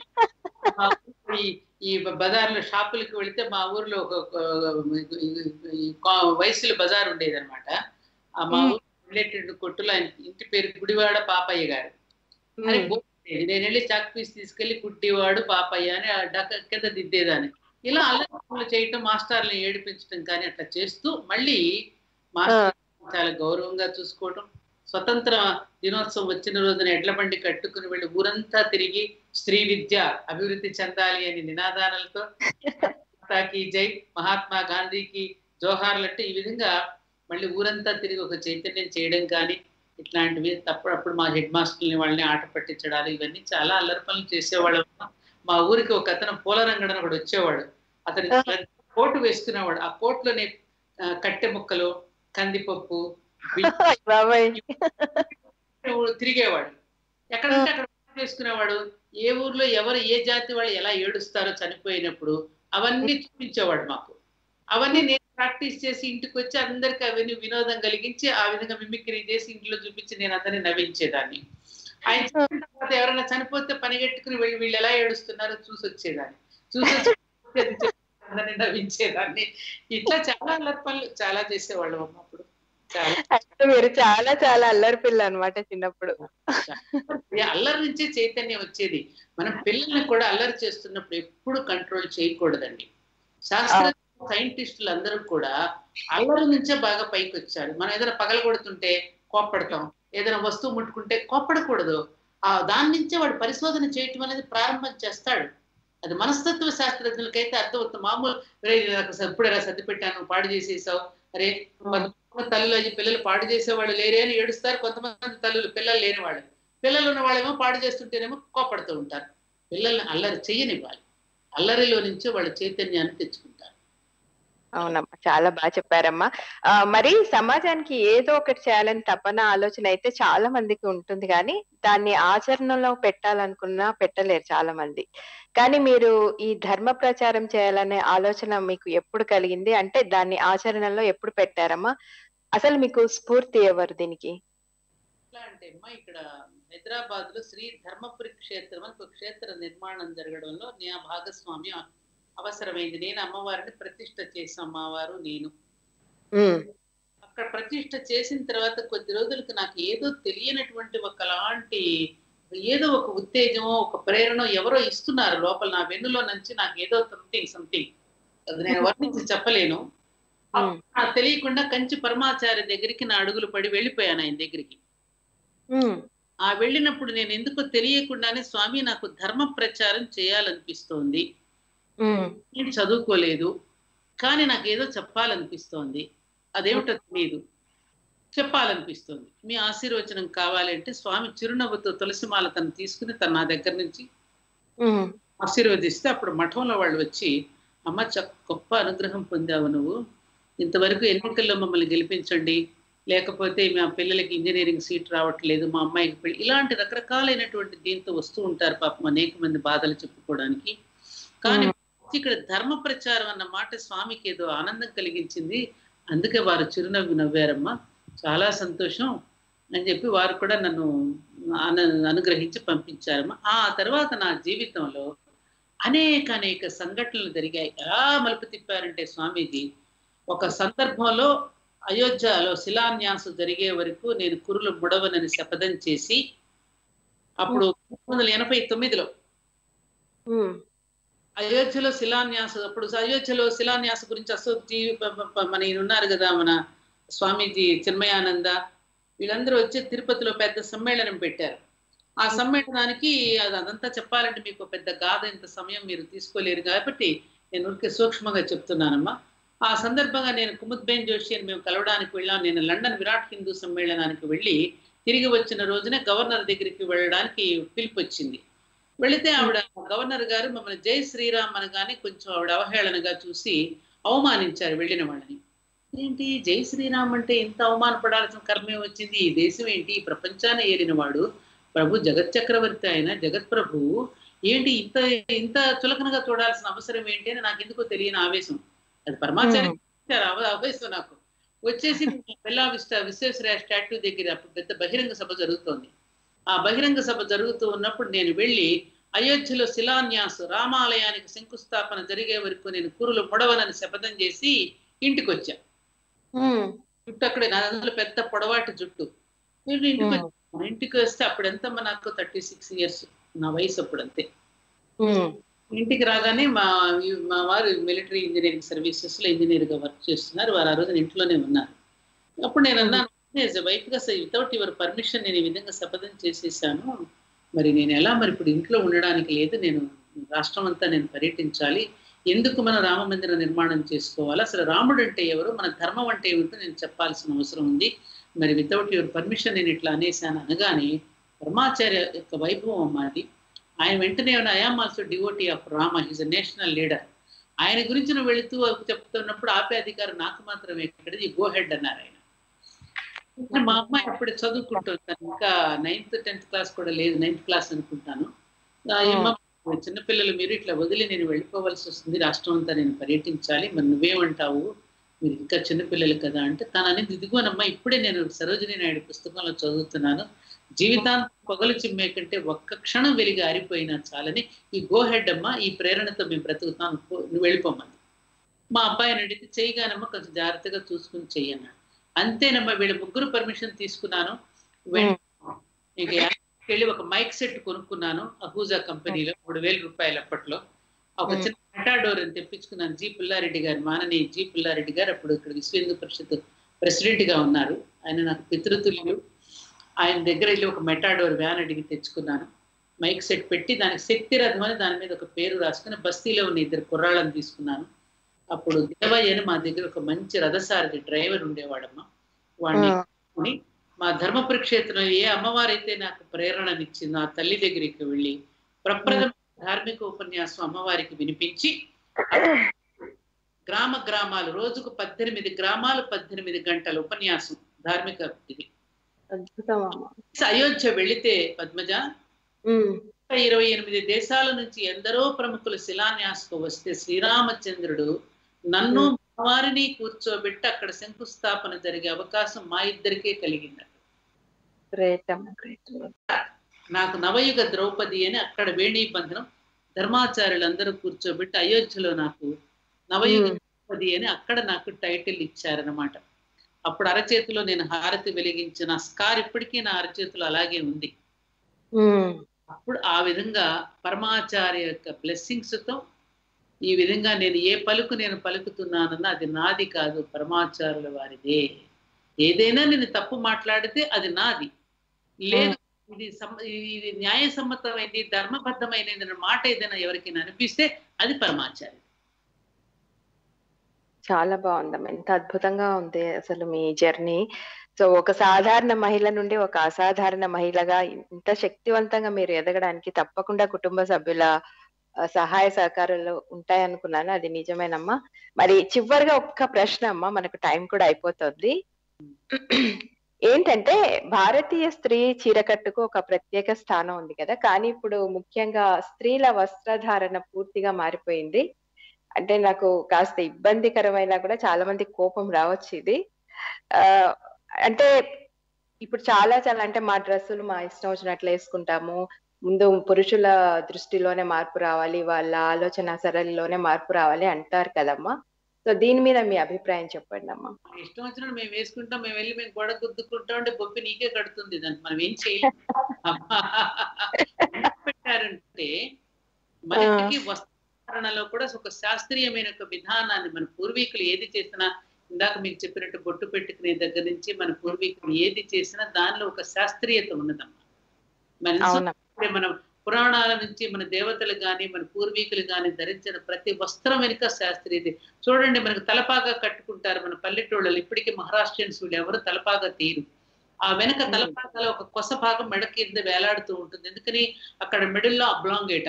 అక్కడ ఉన్నటువంటి ఆ మెదడుకి ఆ ఎండ కనుక తగిలితే దానికి దెబ్బ తగులుతుందనే ఉద్దేశంతో మనం జడ వేసుకున్నా ముడి వేసుకున్నా కారణం ఏమిటి? అక్కడ ఎండ గనక సోకితే అప్పుడు. దానికి ప్రమాదం కలుగుతుంది కాబట్టి.